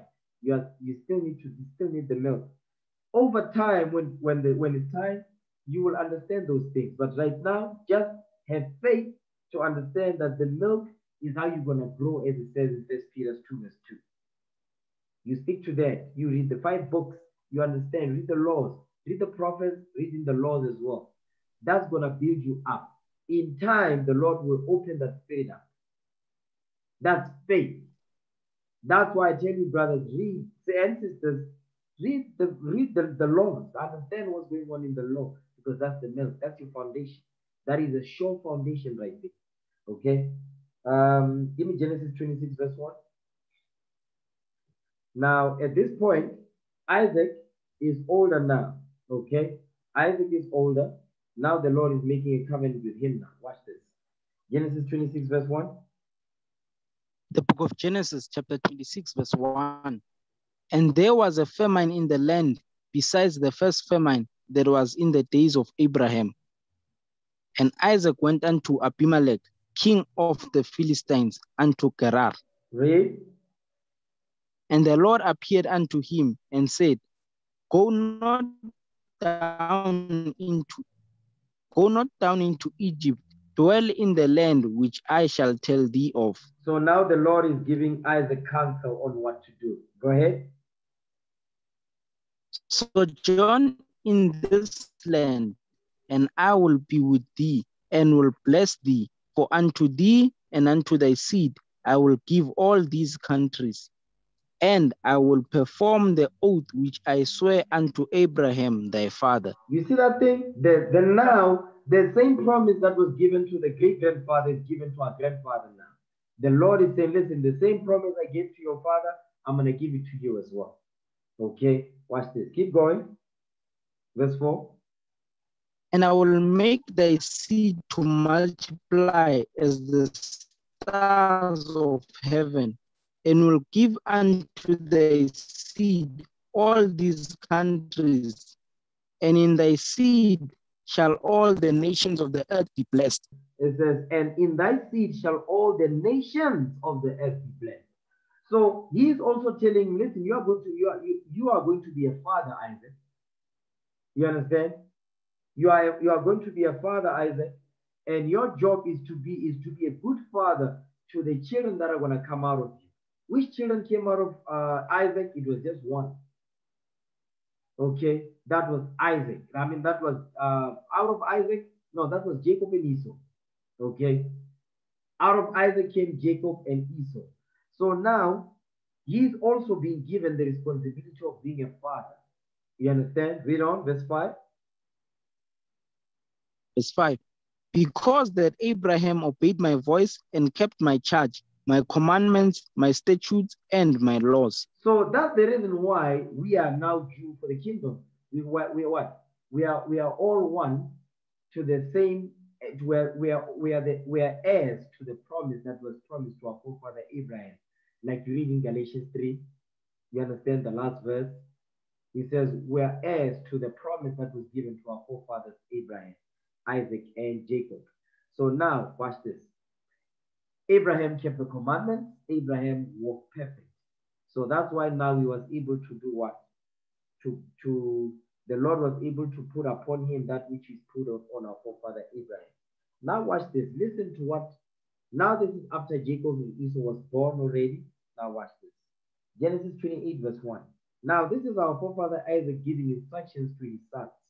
Listen now. 28 verse 1. The book of Genesis chapter 28 verse 1. And Isaac called Jacob and blessed him and charged him and said unto him, Thou shalt not take a wife of the daughters of Canaan. Now that's a command right there. That's a command right there. Say, listen. He's telling Jacob, listen, and he blessed Jacob and charged him, meaning he was commanded and warned and said, and thou shalt not take a wife of the daughters of Canaan. Don't marry these dusty Hamites. He says, I don't want you anywhere near these Hamites. Stay away from them. That's what he's telling you because why? Give me that in Deuteronomy chapter 7, real quick. Deuteronomy chapter 7, verse 3. The book of Deuteronomy, chapter 7, verse 3. You? Neither shalt thou make Uh, start at verse 1. Read verse 1. We're going to jump. the book of Deuteronomy, chapter 7, verse 1. When the Lord thy God shall bring thee into the land, whither thou goest to possess it, and had cast out many nations before thee, the Hittites, and the Girgashites, and the Amorites, and the Canaanites, and the Perizzites, and the Hivites, and the Jebusites, seven nations greater and mightier than thou. So now the Canaanite is part of this list. So he's telling him, listen, don't marry the daughters of Canaan. Why? Jump down to verse 3. Go ahead. Verse 3 Neither shalt thou make marriage with them. Thy daughter, thy daughter thou shalt not give unto his son, nor his daughter thou shalt shalt thou take unto thy son. So now is this is the law. This is the law of interracial marriage, meaning what? The Most High God is against interracial marriages. So now what we're reading here is, thou shalt not, it says, when you go and possess the lands and the of these nations, don't make marriages with them. So now let's go back to Genesis 28, verse 1 again. The book of Genesis, chapter 28, verse 1. And Isaac called Jacob and blessed him and charged him and said unto him, Thou shalt not take a wife of the daughters of Canaan. You see that thing? Why? Because of what we read in Deuteronomy chapter 7. Go ahead. Arise, go to Padan Aram, to the house of Bethuel, thy mother's father, thy mother's father, and take thee a wife from thence of the daughters of Laban, thy mother's brother. So now what you want to notice here is, you see when, when, you see this, I know some of you that have already read Genesis 28, I think I've went over this. Okay? Because what you are seeing here is says, it says, go to Padan Aram, to the house of Bethuel, thy mother's father, and take thee a wife from thence of the daughters of Laban, thy mother's brother. But according to the law, Leviticus 18, you're not supposed to do that. Because when you look at this, you are just thinking, no, it's just, you know, my my mother's father, my mother's father's children. You can't be having sex with them. You can't marry them. Okay, this is going into the kindreds and all that. Give that in First Timothy 5 and 1 real quick. First Timothy chapter 5, verse 1. Just to clarify what we are reading here when, when, when it says thy mother's father, thy mother's brother, and so forth. First Timothy 5 and 1. First book of Timothy, chapter 5, verses 1. Rebuke not an elder, but entreat him as a father, and the younger men as brethren. You see that thing? So the elders are fathers, the younger men are as brethren. Okay, read on, verse 2. The elder women as mothers, the younger as sisters, with all purity. That's simple. You see what he's saying? The elder women as mothers, the younger as sisters with all purity. Now let's go back. Genesis 28, verse 2. The book of Genesis, chapter 28, verse 2. Arise, go to Padan Aram, to the house of Bethuel, thy mother's father, and take take thee a wife from thence of the daughters of Laban, thy mother's brother. So now what you are seeing here is what? Is the the when it says thy, thy mother's father, okay, and thy mother's brother, this is a term of endearment. Okay?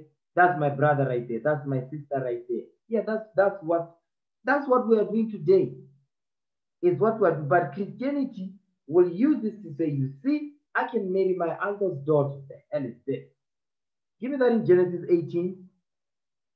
Genesis chapter 18 and verse uh, read verse 12. Genesis 18. You know what? Let's start at verse verse 11. Genesis 18, verse 11. The book of Genesis, chapter 18, verse 11. Now Abraham and Sarah No, no. were old. I'm sorry, I'm sorry. Leviticus, Leviticus. Leviticus 18. Leviticus 18, verse 11.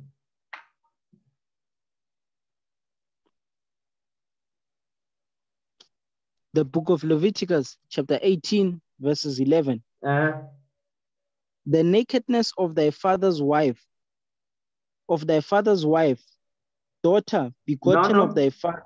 hold on. The nakedness of thy father's wife's daughter. Your father's wife's daughter. Okay, it says you must not go anywhere near it. Read that part again. The book of Leviticus, chapter 18, verse 11. The nakedness of thy father's wife's daughter, begotten of thy father, she is thy sister. Thou shalt not uncover her nakedness. Because that's some nasty stuff. Go ahead. Thou shalt not uncover the nakedness of thy father's sister. That's your She aunt. is, thy, That's your aunt. Go ahead.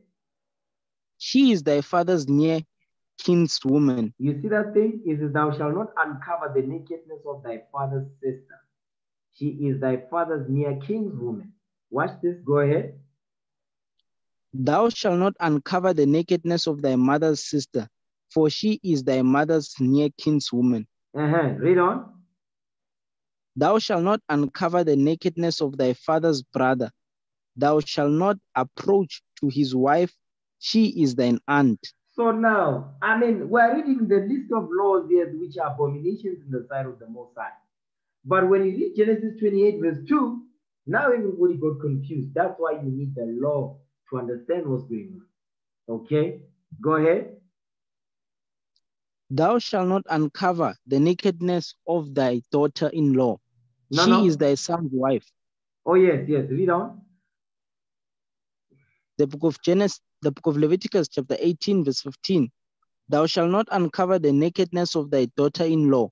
She is thy son's wife. Thou shalt not uncover her nakedness. You see, that's your daughter in law right there. Go ahead. Thou shalt not uncover the nakedness of thy brother's wife.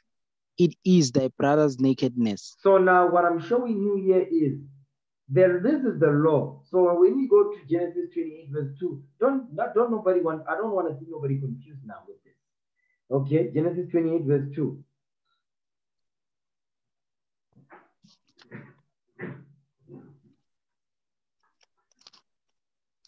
The book of Genesis, chapter 28, verse 2. Arise, go to Padan Aram, to the house of Bethuel, thy mother's father, and take thee a wife from thence of the daughters of Laban, thy mother's brother. Go ahead. And God Almighty bless thee and make thee fruitful and multiply thee, that thou mayest be a multitude of people. That you see what it's saying? It says, Thou mayest be a multitude of people. He's talking to Isaac now. Go ahead. No, no. Isaac is talking to his son Jacob. Go ahead. And give thee a blessing of Abraham to thee, and to thy seed with thee, You see that that? thou And to thy seed with thee. And to thy seed. Who's that? He spoke about the 12 tribes. Go ahead. that thou mayest inherit the land wherein thou art a stranger, which God gave unto Abraham. Read. And Isaac sent away Jacob, and he went to Padan Aram, unto Laban, son of Bethuel, the Syrian, the brother of Rebekah, Jacob's and Esau's mother. Go ahead. Come on. When Esau saw that Isaac had blessed Jacob and sent him away to Padan Aram to take him a wife from thence, and that as he blessed him, he gave him a charge, saying, Thou shalt not take a wife of the daughters of Canaan. He's telling you, listen, he said, listen, I know I told you before, I'm going to tell you again. Do not, please don't bring shame into my house. That's what he's saying right there. Thou shalt not take a wife of the daughters of Canaan. Stay away from these Hamites. Okay, go ahead. And that Jacob obeyed his father and his mother and was gone to Padan Aram. So what did Jacob do? Read that again, verse 7. The book of Genesis, chapter 28, verse 7. And Jacob obeyed his fathers, his father and his mother, and was gone to Padan Aram. Now give me the book of Ephesians chapter 6. Give me Ephesians chapter 6 and verse 2. Start at verse 1. Ephesians 6 and 1.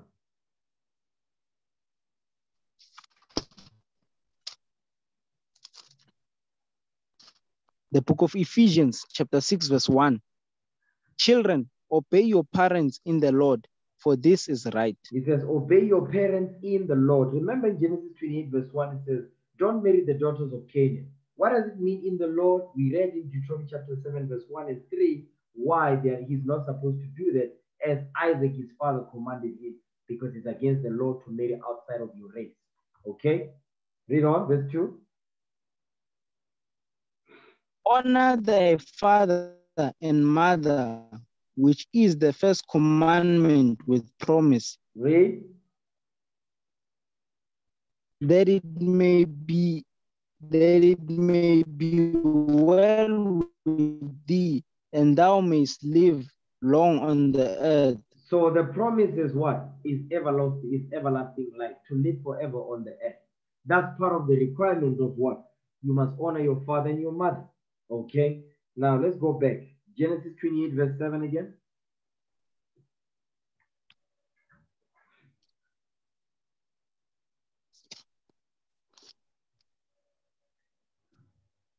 The book of Genesis, chapter 28, verse 7. Mhm.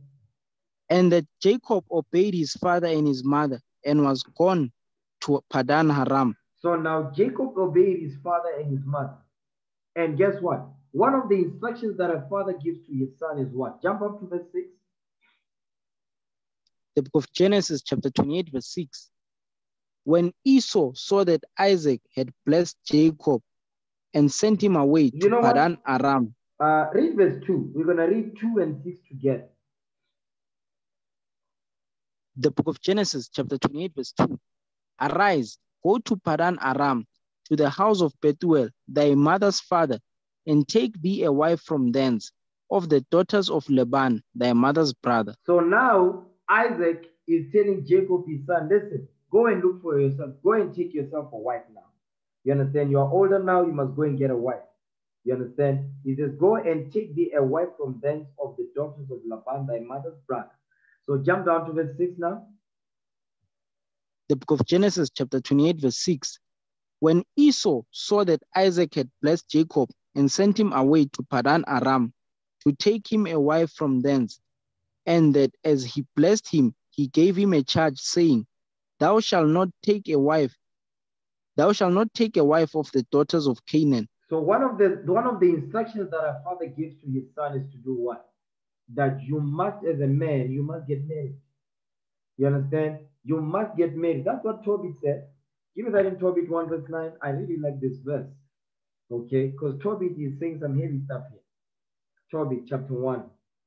Mhm. Tobit 1 verse 9. Watch this. The book of Tobit, chapter 1, verse 9.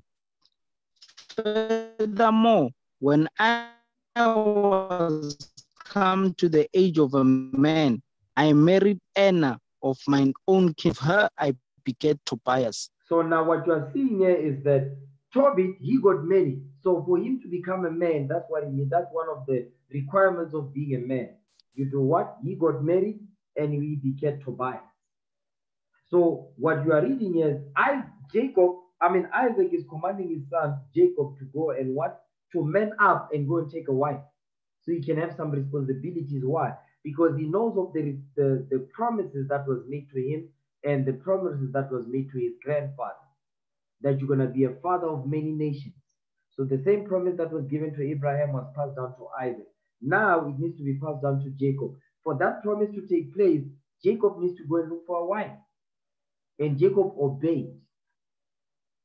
You see that thing? Because our forefather Abraham, they are about the nation. They are about nation building. Isaac, the same. They are about nation building. You see that thing? This is some beautiful stuff coming out here. Okay, watch this. Give me, um, let me see. Give me the book of Genesis 49 real quick. Give me Genesis 49 verse 1. Come on, Genesis 49 verse 1. The book of Genesis, chapter 49, verse 1. And Jacob called unto his sons and said, Gather yourselves together, that I may tell you that which shall befall you in the last days. So now Moses is writing this because Moses wasn't here. So now the Lord is showing Jacob, the Lord is showing Moses what Jacob said to his sons before he died. Okay? Moses, he the Lord showed Moses a lot of stuff. One of those things that he showed him, he showed him, he showed him when Jacob was he gathered his sons together to tell them what will befall us in the last days. So that's the father's and that's the father's responsibility to see to tell the sons what is going to happen to them. You understand? In the latter end of their years. Read that again, verse 1. The book of Genesis, chapter 49, verse 1. And Jacob called unto his sons and said, Gather yourselves together, that I may tell you that which shall befall you in the last days. So now this is prophecy. Jacob is prophesying. He's in the spirit of prophecy. What will befall you in the last days? The last days. Go ahead. Gather yourselves together, and hear ye, sons of Jacob, and hearken unto Israel your father. And listen unto Israel your father. So he's gathering the sons together because remember, what we go back to Psalm 78, verse, verse 5 again.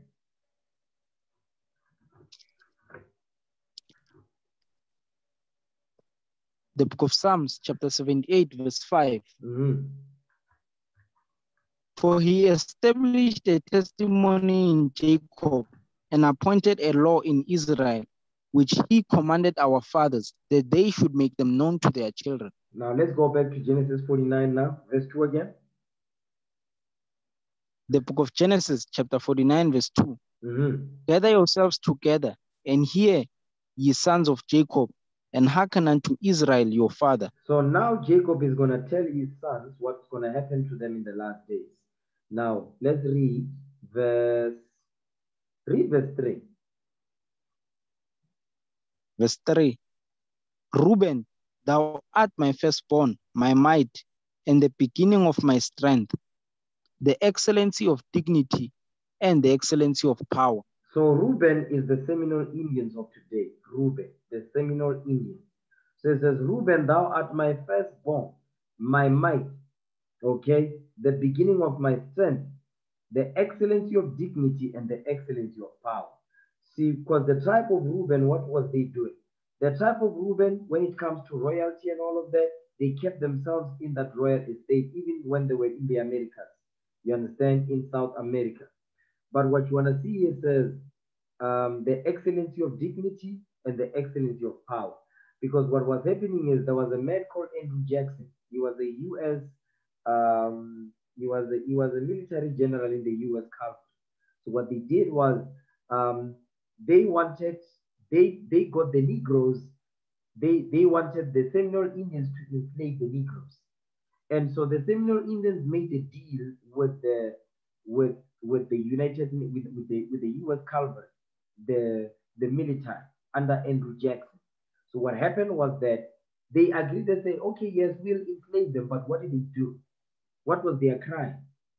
So after they they made a false deed, uh, they made they made a false treaty with with Andrew Jackson. As soon as he left, they made the Negroes kings. You understand? They made them kings and princes and gave them the choice of their women in the community of the Seminole Indians, the tribe of Reuben. So they still kept that dignity because the white man wanted the Seminole Indians to enslave their own brothers. The, the Seminole Indians refused to do that thing. Go ahead, verse 4. The book of Genesis, chapter 49, verse 4. Unstable as water, thou shalt not excel, because thou wentest up to thy father's bed, then defilest thou it. He went up to my couch. So what Reuben is, Jacob is telling Reuben is, listen, you are unstable as water. You're because they be moving from place to place. You understand? During the, the during the American Civil War, it says, unstable as water, thou shalt not excel, because thou wentest up to my to thy father's bed, then defilest thou it. He went up to my couch. Meaning what? He slept with his father's concubine. That's what Reuben did. That's why he says, Thou shalt not excel. Okay? Because even in the last days, they were unable to overcome Andrew Jackson and his military troops. They couldn't win over them. Okay, they were subdued. Now let's read verse 5. I'm just I'm not gonna read everything. I just wanna show you the, the responsibility of a father because guess what? The reason why I'm reading this is because a father can pick up certain spirits in their sons and daughters, in their children. Next verse. Verse 5 Simeon and Levi are brethren, instruments of cruelty are in their, are in their habitations. So he now Oh he's, my he's saying Simeon and Levi. Okay. Simeon, that's the Dominican, the Dominicans of today, Dominican, the Dominicans of today. Levi, that's the so-called Haitians of today. It says instruments of cruelty are in their habitation. Because what do they do? They defied um, Jacob's instruction after that Hamite raped our, our sister Dinah. So they went and they killed them all and circumcised. They circumcised them. And then while they were still in pain, they came, they chopped them, they killed them. Okay, that's what it says. Instruments of, cruel, of cruelty are in their habitation. Read on. Oh, my soul, come not thou into their secret, and to their assembly. Mine honor be not thou united. For in their anger they slew a man, and in their self in their self will they dig down a wall. So what you are seeing here is Jacob is telling is telling Simeon and Levi, say, listen, they must not be united. He says, Be not thou united. Because Levi and Simeon, they live on the same island, but they are divided. They don't get along, they fight in the island of Espanol. On one side is the Dominican, they speak Spanish, they're conquered by the Span, the conquistadors. On the other side, you've got the, the so-called Haitians, they speak French, they were conquered by France. So they divided them both in language and culture, and they hate and despise one another. That's what we're reading here. Be not thou united, for in their anger they slew a man, and in their self-will they dig down a wall. Read on, verse 7. Cursed be their anger, for it was fierce, and their wrath, for it was cruel. I will divide them in Jacob and scatter them in Israel. You see that thing? That's what would happen in the last days. Based on what? Based on their behavior and conduct. This is what would identify who the, uh, the type of Simeon is and the type of Levi is. So because when Levi and when Levi and Simeon get together, listen, they never come together for good. So the Lord said, I'm gonna separate you. I'm going to separate you. That's why in Haiti they practice voodoo. On the other side, in the Dominican Republic, they practice Santeria, okay, Brujeria, which is just another form of voodoo. You understand? The same thing. But guess what? The Lord says, I'm going to divide you. You are going to be divided. What am I bring, Why am I bringing this up? Watch this. Give me the book of First Maccabees, okay? First Maccabees chapter 2. First Maccabees chapter 2 and verse First Maccabees 2 verse 51. First Maccabees chapter 2, verse 51. Call to remembrance what acts our fathers did in their time, so shall ye receive great honor and an everlasting name. That everlasting name is going to come from what we are, we are going to read next. Jump down to verse 60. Read verse 64. We're going to read down. First Maccabees chapter 2, verse 64. Mhm. Wherefore, ye my sons, be valiant and shew yourselves men in the behalf of the law, for by it shall ye obtain glory. So now he's telling them, say, listen, you must be valiant, be courageous, and show yourselves men in the behalf of the law. For by it ye shall obtain glory. So that glory and the everlasting name is gonna come, is gonna come to us when we do what? When we show ourselves men on the behalf of the law, meaning we stand for the laws of this Bible. That's when we become men. That's when you sisters become women. Okay, go ahead. And behold, I know that your brother Simeon is a man of counsel. Give ear unto him always. He shall be a father unto you. So what we're reading here, see, this is Matthias now. He's about to die. So he's telling his son, he says, listen, I know your brother Simon is a man of counsel. We just had the day of Simon. That Simon right there. He says, give ear unto him always. He shall be a father unto you. Now read the next part of that verse. Or the next, read the next verse. Watch this. Verse 66. As for Judas Maccabeus, he had been mighty and strong, even from his youth up. Let him be your captain and fight the battle of the people. You see that thing? So Matthias was able to recognize the spirit in Judah Maccabee. Say, listen, let him be your captain, okay, and fight the battle of the people. Simon is the is the wise one. Judas was the master. So what we're reading here is Matthias was able to identify the certain spirit in the son. You understand? To be able to know, okay, this is the wise one. He's this one is the master. He's the wise one. So on and so forth. So likewise today in the camp, I can pick up certain spirits. I know this brother, this is the type of spirit he got. This is the type of uh, stuff he needs to deal with. That brother right there, this is the type of spirit he got. This is the type of things he needs to deal with. The sisters as well, the same thing. You understand? Because guess what? That's how that as a father, that's how you must you must know the state of your flock. You must be able to identify certain spirits and be able to deal the deal dish them out the stuff that is pertains to them so they can be built up. Okay. Uh, read on, verse 67.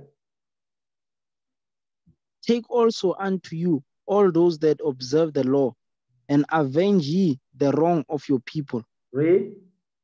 Recompense fully the heathen, and take heed to the commandments of the law. So you see what a father is doing? A father will give instructions to his sons and daughters. A father will command his children and his household after him. So right now, this is the house of the Lord. You are the children that needs to be instructed of God's commandments so you can move correctly. So we can build this family. This is a family. I hope you brothers and sisters see that. Okay, watch this. Give me the book of First Kings chapter 2, verse 1. Because King David said the same thing to Solomon, what he must do. He, as a father, he gave him a command and a charge of what he needs to do in order for him to be successful in his life. First Kings chapter 2, verse 1. The book of First Kings, chapter 2, verses 1. Mhm. Now the days of David drew near that he should die. And he charged Solomon his son, saying, Mm. I go the way of all the earth. Be thou strong, therefore, and shew thyself a man. So now, you see what he's saying? I go the way of all the earth. Be thou strong, therefore, and show thyself a man. So, what are we reading here? David is about to go. He's about to go and sleep with his fathers. So now he's charging his son Solomon. Say, listen, be strong, therefore, and show yourself a man. Isn't the same thing that we read in First Maccabees? It's the same thing. Read that again. Go back to First Maccabees. We coming back here. First Maccabees chapter 2, verse 64. The book of First Maccabees, chapter 2, verses 64. Wherefore, ye my sons, be valiant and shew yourselves men in the behalf of the law, for by it ye shall obtain glory. for by it you shall obtain glory. Now watch this. Um, go back to First Kings now. First Kings chapter 2. First Kings chapter 2, verse 2 again. First Kings chapter 2, verse 2. I go the way of all the earth. Be thou strong therefore, and show thyself a man. So now King David is telling his son Solomon, listen, you must stand up for this Bible. Do not be standing up for politics or religion or Christianity, none of that garbage. Stand up for the laws, statutes, and commandments that was given to us to rule the earth. That is what King David is telling his son Solomon. As a father, that was his responsibility. The same thing that Mattathias did with his son. Okay, go ahead. And keep the charge of the Lord thy God, to walk in his ways, to keep his statutes and his commandments, and his judgments and his testimonies, as it is written in the law of Moses, that thou mayest prosper in all that thou doest, and whithersoever thou turnest thyself. So now King David is telling Solomon, listen, this is the key to success right here. This is how you become a man. This is how you become, this is how you become a king. This is how you maintain, you maintain your kingship. This is how you're going to be able to rule over the nation of Israel with justice and judgment. Okay, go ahead. That the Lord may continue his word, which he spake concerning me, saying, If thy children take heed to their way, to walk before me in truth with all their heart and with all their soul, they shall not fail thee, said he, a man on the throne of Israel. You see what he's saying? Now he's telling him, listen, the key to your success, Solomon, this is what you must do. You go outside of this, you are not going to make it. That's what he's telling him. Okay, this is what father. Father, this is a father supposed to give instruction exactly as it is written. No fear, no favor. To why? To make sure that the sons understand and the daughters understand what is required of them. Watch this. Give me First Chronicles 28, verse 9. First Chronicles chapter 28, verse 9. First Chronicles chapter 28, verse 9. And thou, Solomon, my son, know thou the God of thy father, and serve him with a perfect heart and with a willing mind. For the Lord searcheth all hearts, and understandeth all the imaginations of the thoughts. If thou seek him, he will be found of thee. But if thou forsake him, he will cast thee off forever. So now again, King, King David is warning King Solomon. Listen, you must what he says, know thou the God of thy father, and serve him with a perfect heart and with a willing mind.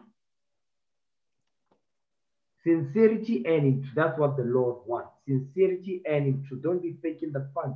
Look at the, the, the history of our forefathers. They were meek. You understand? They were humble. They humbled themselves to the words of the Most High, and they did as it was commanded of them. That's why today we have the, the privilege of being woken up in the last days because if it was up to the Lord, He wouldn't wake us up. Okay? Watch this. Give me the book of Tobit. Give me Tobit. Okay, this is Tobit and his son Tobias. Give me Tobit chapter 4. Let's start at verse 1. Tobit 4, verse 1. Tobit chapter 4, verse 1. In that day, Tobit remembered the money which he had commo- which he had committed to Gabriel in Rages of Media. In Rages, Rages, Rages of Media. In Rages of Media, Read. and said with himself, I have wished for death.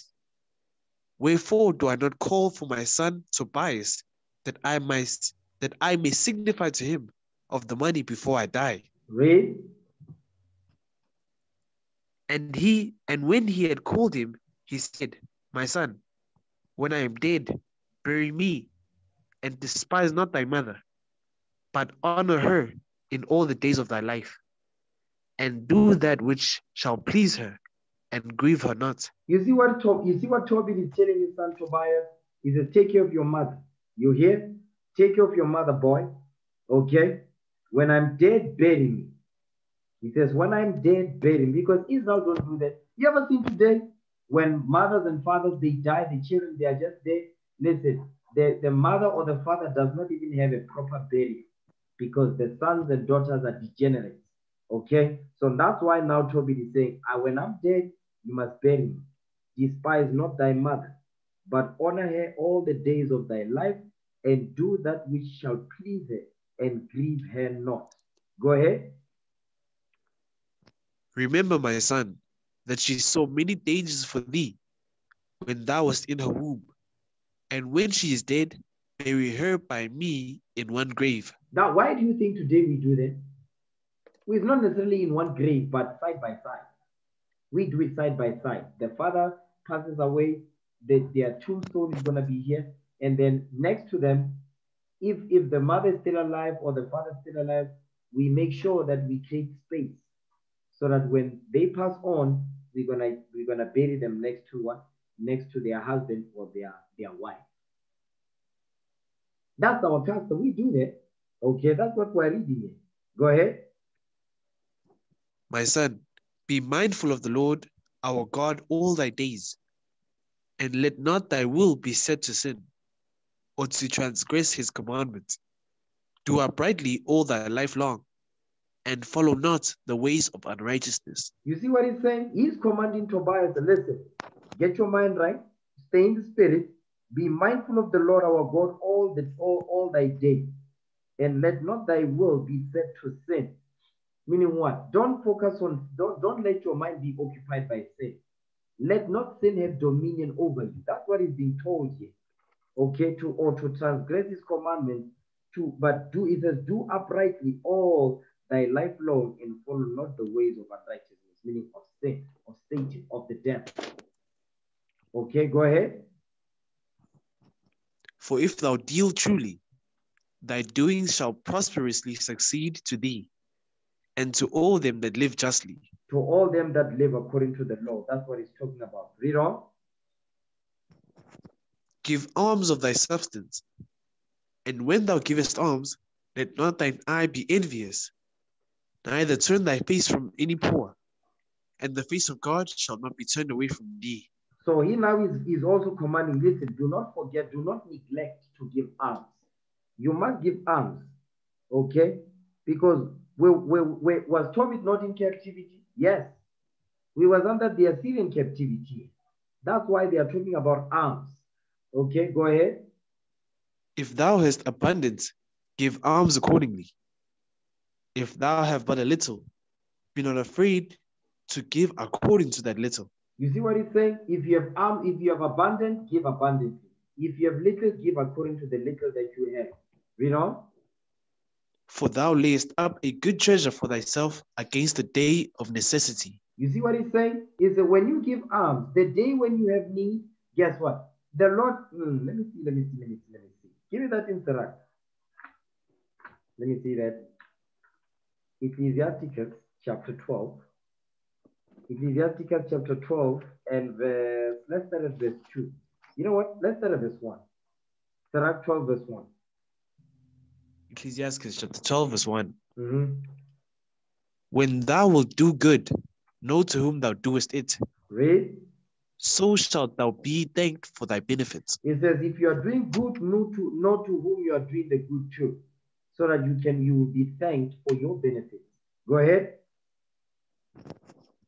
Do good to the godly man, and thou shalt find a recompense. And if not from him, yet from the Most High. So you see what he's saying? So when you give alms, always guess what? The day when you are in need, the Lord will make provision for that thing. Okay, go ahead.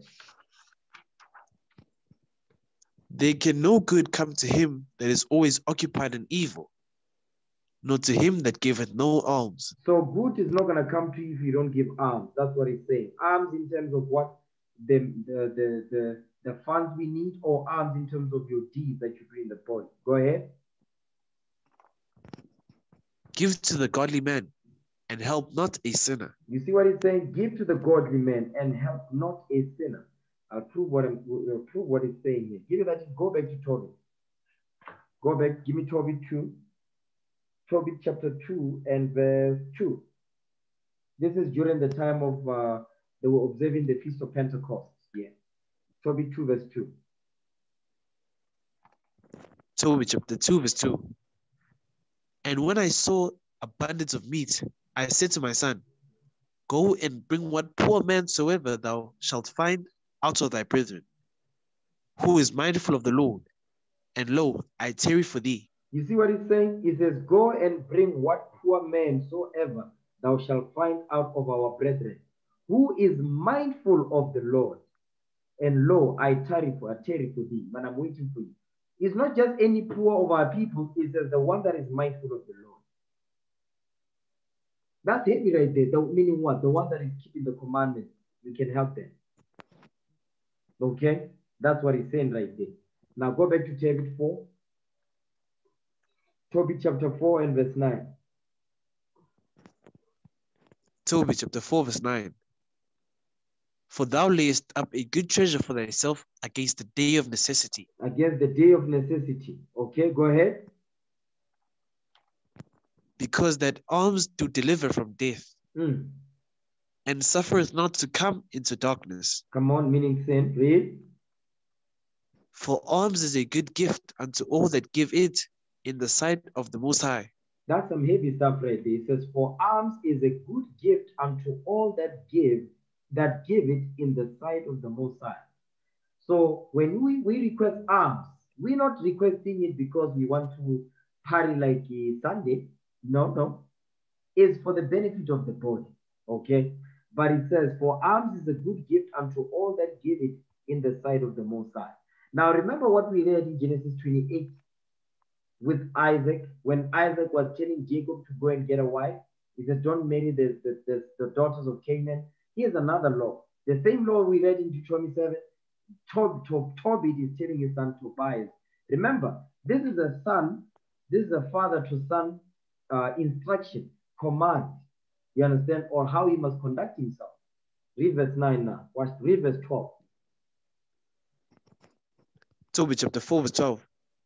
Beware of all whoredom, my son, and chiefly take a wife of the seed of thy fathers, and take not a strange woman to wife. And take not a strange woman to wife, which is not of thy father's tribe. For we are the children of the prophets Noah, Abraham, Isaac, and Jacob. Remember, my son, that our fathers from the beginning, even that they all married, all married wives of their own kindred, and were blessed in their children, and their seed shall inherit the land. That's some heavy stuff right there. So he's explaining again interracial marriages. You understand? He says, Beware of all whoredom, my son. What is whoredom? He says, Take not a strange woman to wife, which is not of thy father's tribe. Meaning what? We must we marry within our race. Okay, go ahead. Verse 13. Now therefore, my son, love thy brethren Do what? and despise love thy brethren You see what he's saying? So when you marry in your race, you love your brethren. Okay, go ahead. love thy brethren, and despise not in thy heart thy brethren, the sons and daughters of thy people, and not taking a wife of them. For in pride is destruction and much trouble, and in lewdness is decay and great want. For lewdness is the mother of, of famine. So that's some heavy stuff right. I praise the Most High for that. All praise to the Lord. All praise to the Lord. Keep going. Go ahead. Let not the wages of any man which hath wrought for thee tarry with thee, but give him it out of thy hand. For if thou serve God, he will also repay thee. Be circumspect, be circumspect, my son, in all things thou doest, and be wise in all thy conversation. You see what he's saying? So now this is a father giving what giving a son in instruction before he dies. Listen, I need you to walk in the right spirit. Make sure that you keep the commandments. Make sure that you have a good name. Make sure that you maintain the good name that we built in this house. That's what he's telling him right there. You understand? Don't marry outside of your race. Take care of your brethren. Take care of your brothers and sisters. You understand? Be about family. That's what we are trying to teach you, each and every one of you here. Don't be selfish. You understand? It's not about it's not about you. Follow command, follow instruction. When counsel is given out, follow the counsel. Why? Because we want to make sure that the family is in complete order so the children have a good example. When they grow up and say, okay, I know what good looks like. I know and I know what evil looks like. And I'm gonna choose this good right here. That's what this is about. Okay, we are a family. All right. So what I want to show you, brothers and sisters, is that the the the the instructions, the instructions that our forefathers gave is to what what was always about nation building. You understand? From Abraham, Isaac, Jacob, okay, Mattathias and his sons, Tobit and Tobias, King David and King Solomon, and so forth. They gave they gave counsel based on what? Based on how to build the nation, how to be upright. Because if you're upright, you are that you are you you you are, you are going to be that piece that is going to be necessary to build that great house, which is the house of Israel. Okay, go back to Sirach now. Sirach chapter 44, read verse 1 again. Ecclesiasticus chapter 44, verse 1. Read. Let us now praise famous men and our fathers that begat us. Mhm. The Lord hath wrought great glory by them through his power, through his great power from the beginning, Come on. such as did bear rule in their kingdoms. Men renowned for their power, giving counsel by their understanding, and declaring prophecies. Read. Leaders of the people by their counsels, and by their knowledge of learning meet for the people. Wise and eloquent are their instructions. Wise and eloquent in their instruction. Are you reading a different version here? Read verse 4 again. Ecclesiasticus chapter 44, verse 4. Leaders of the people by their counsels and by their knowledge of learning meet for the people. Wise and eloquent in their instructions. You see that thing? Wise and eloquent in their instructions. Because what instructions was they giving out? What were they using to give out instructions? Watch this. Give me that in Romans 2. Romans chapter 2, verse 18. Romans chapter 2, verse 18. Mhm. And knows his will, and approvest the things that are more excellent, being instructed out of the law. That's what our forefathers was doing. That's what we are doing today to instruct you men and women out of the laws of God. Today I was focusing mainly on the men. Fathers giving advice to their sons. You understand? Counsel to their sons. And I'm going to deal with what? Father, mothers giving counsels to their daughters.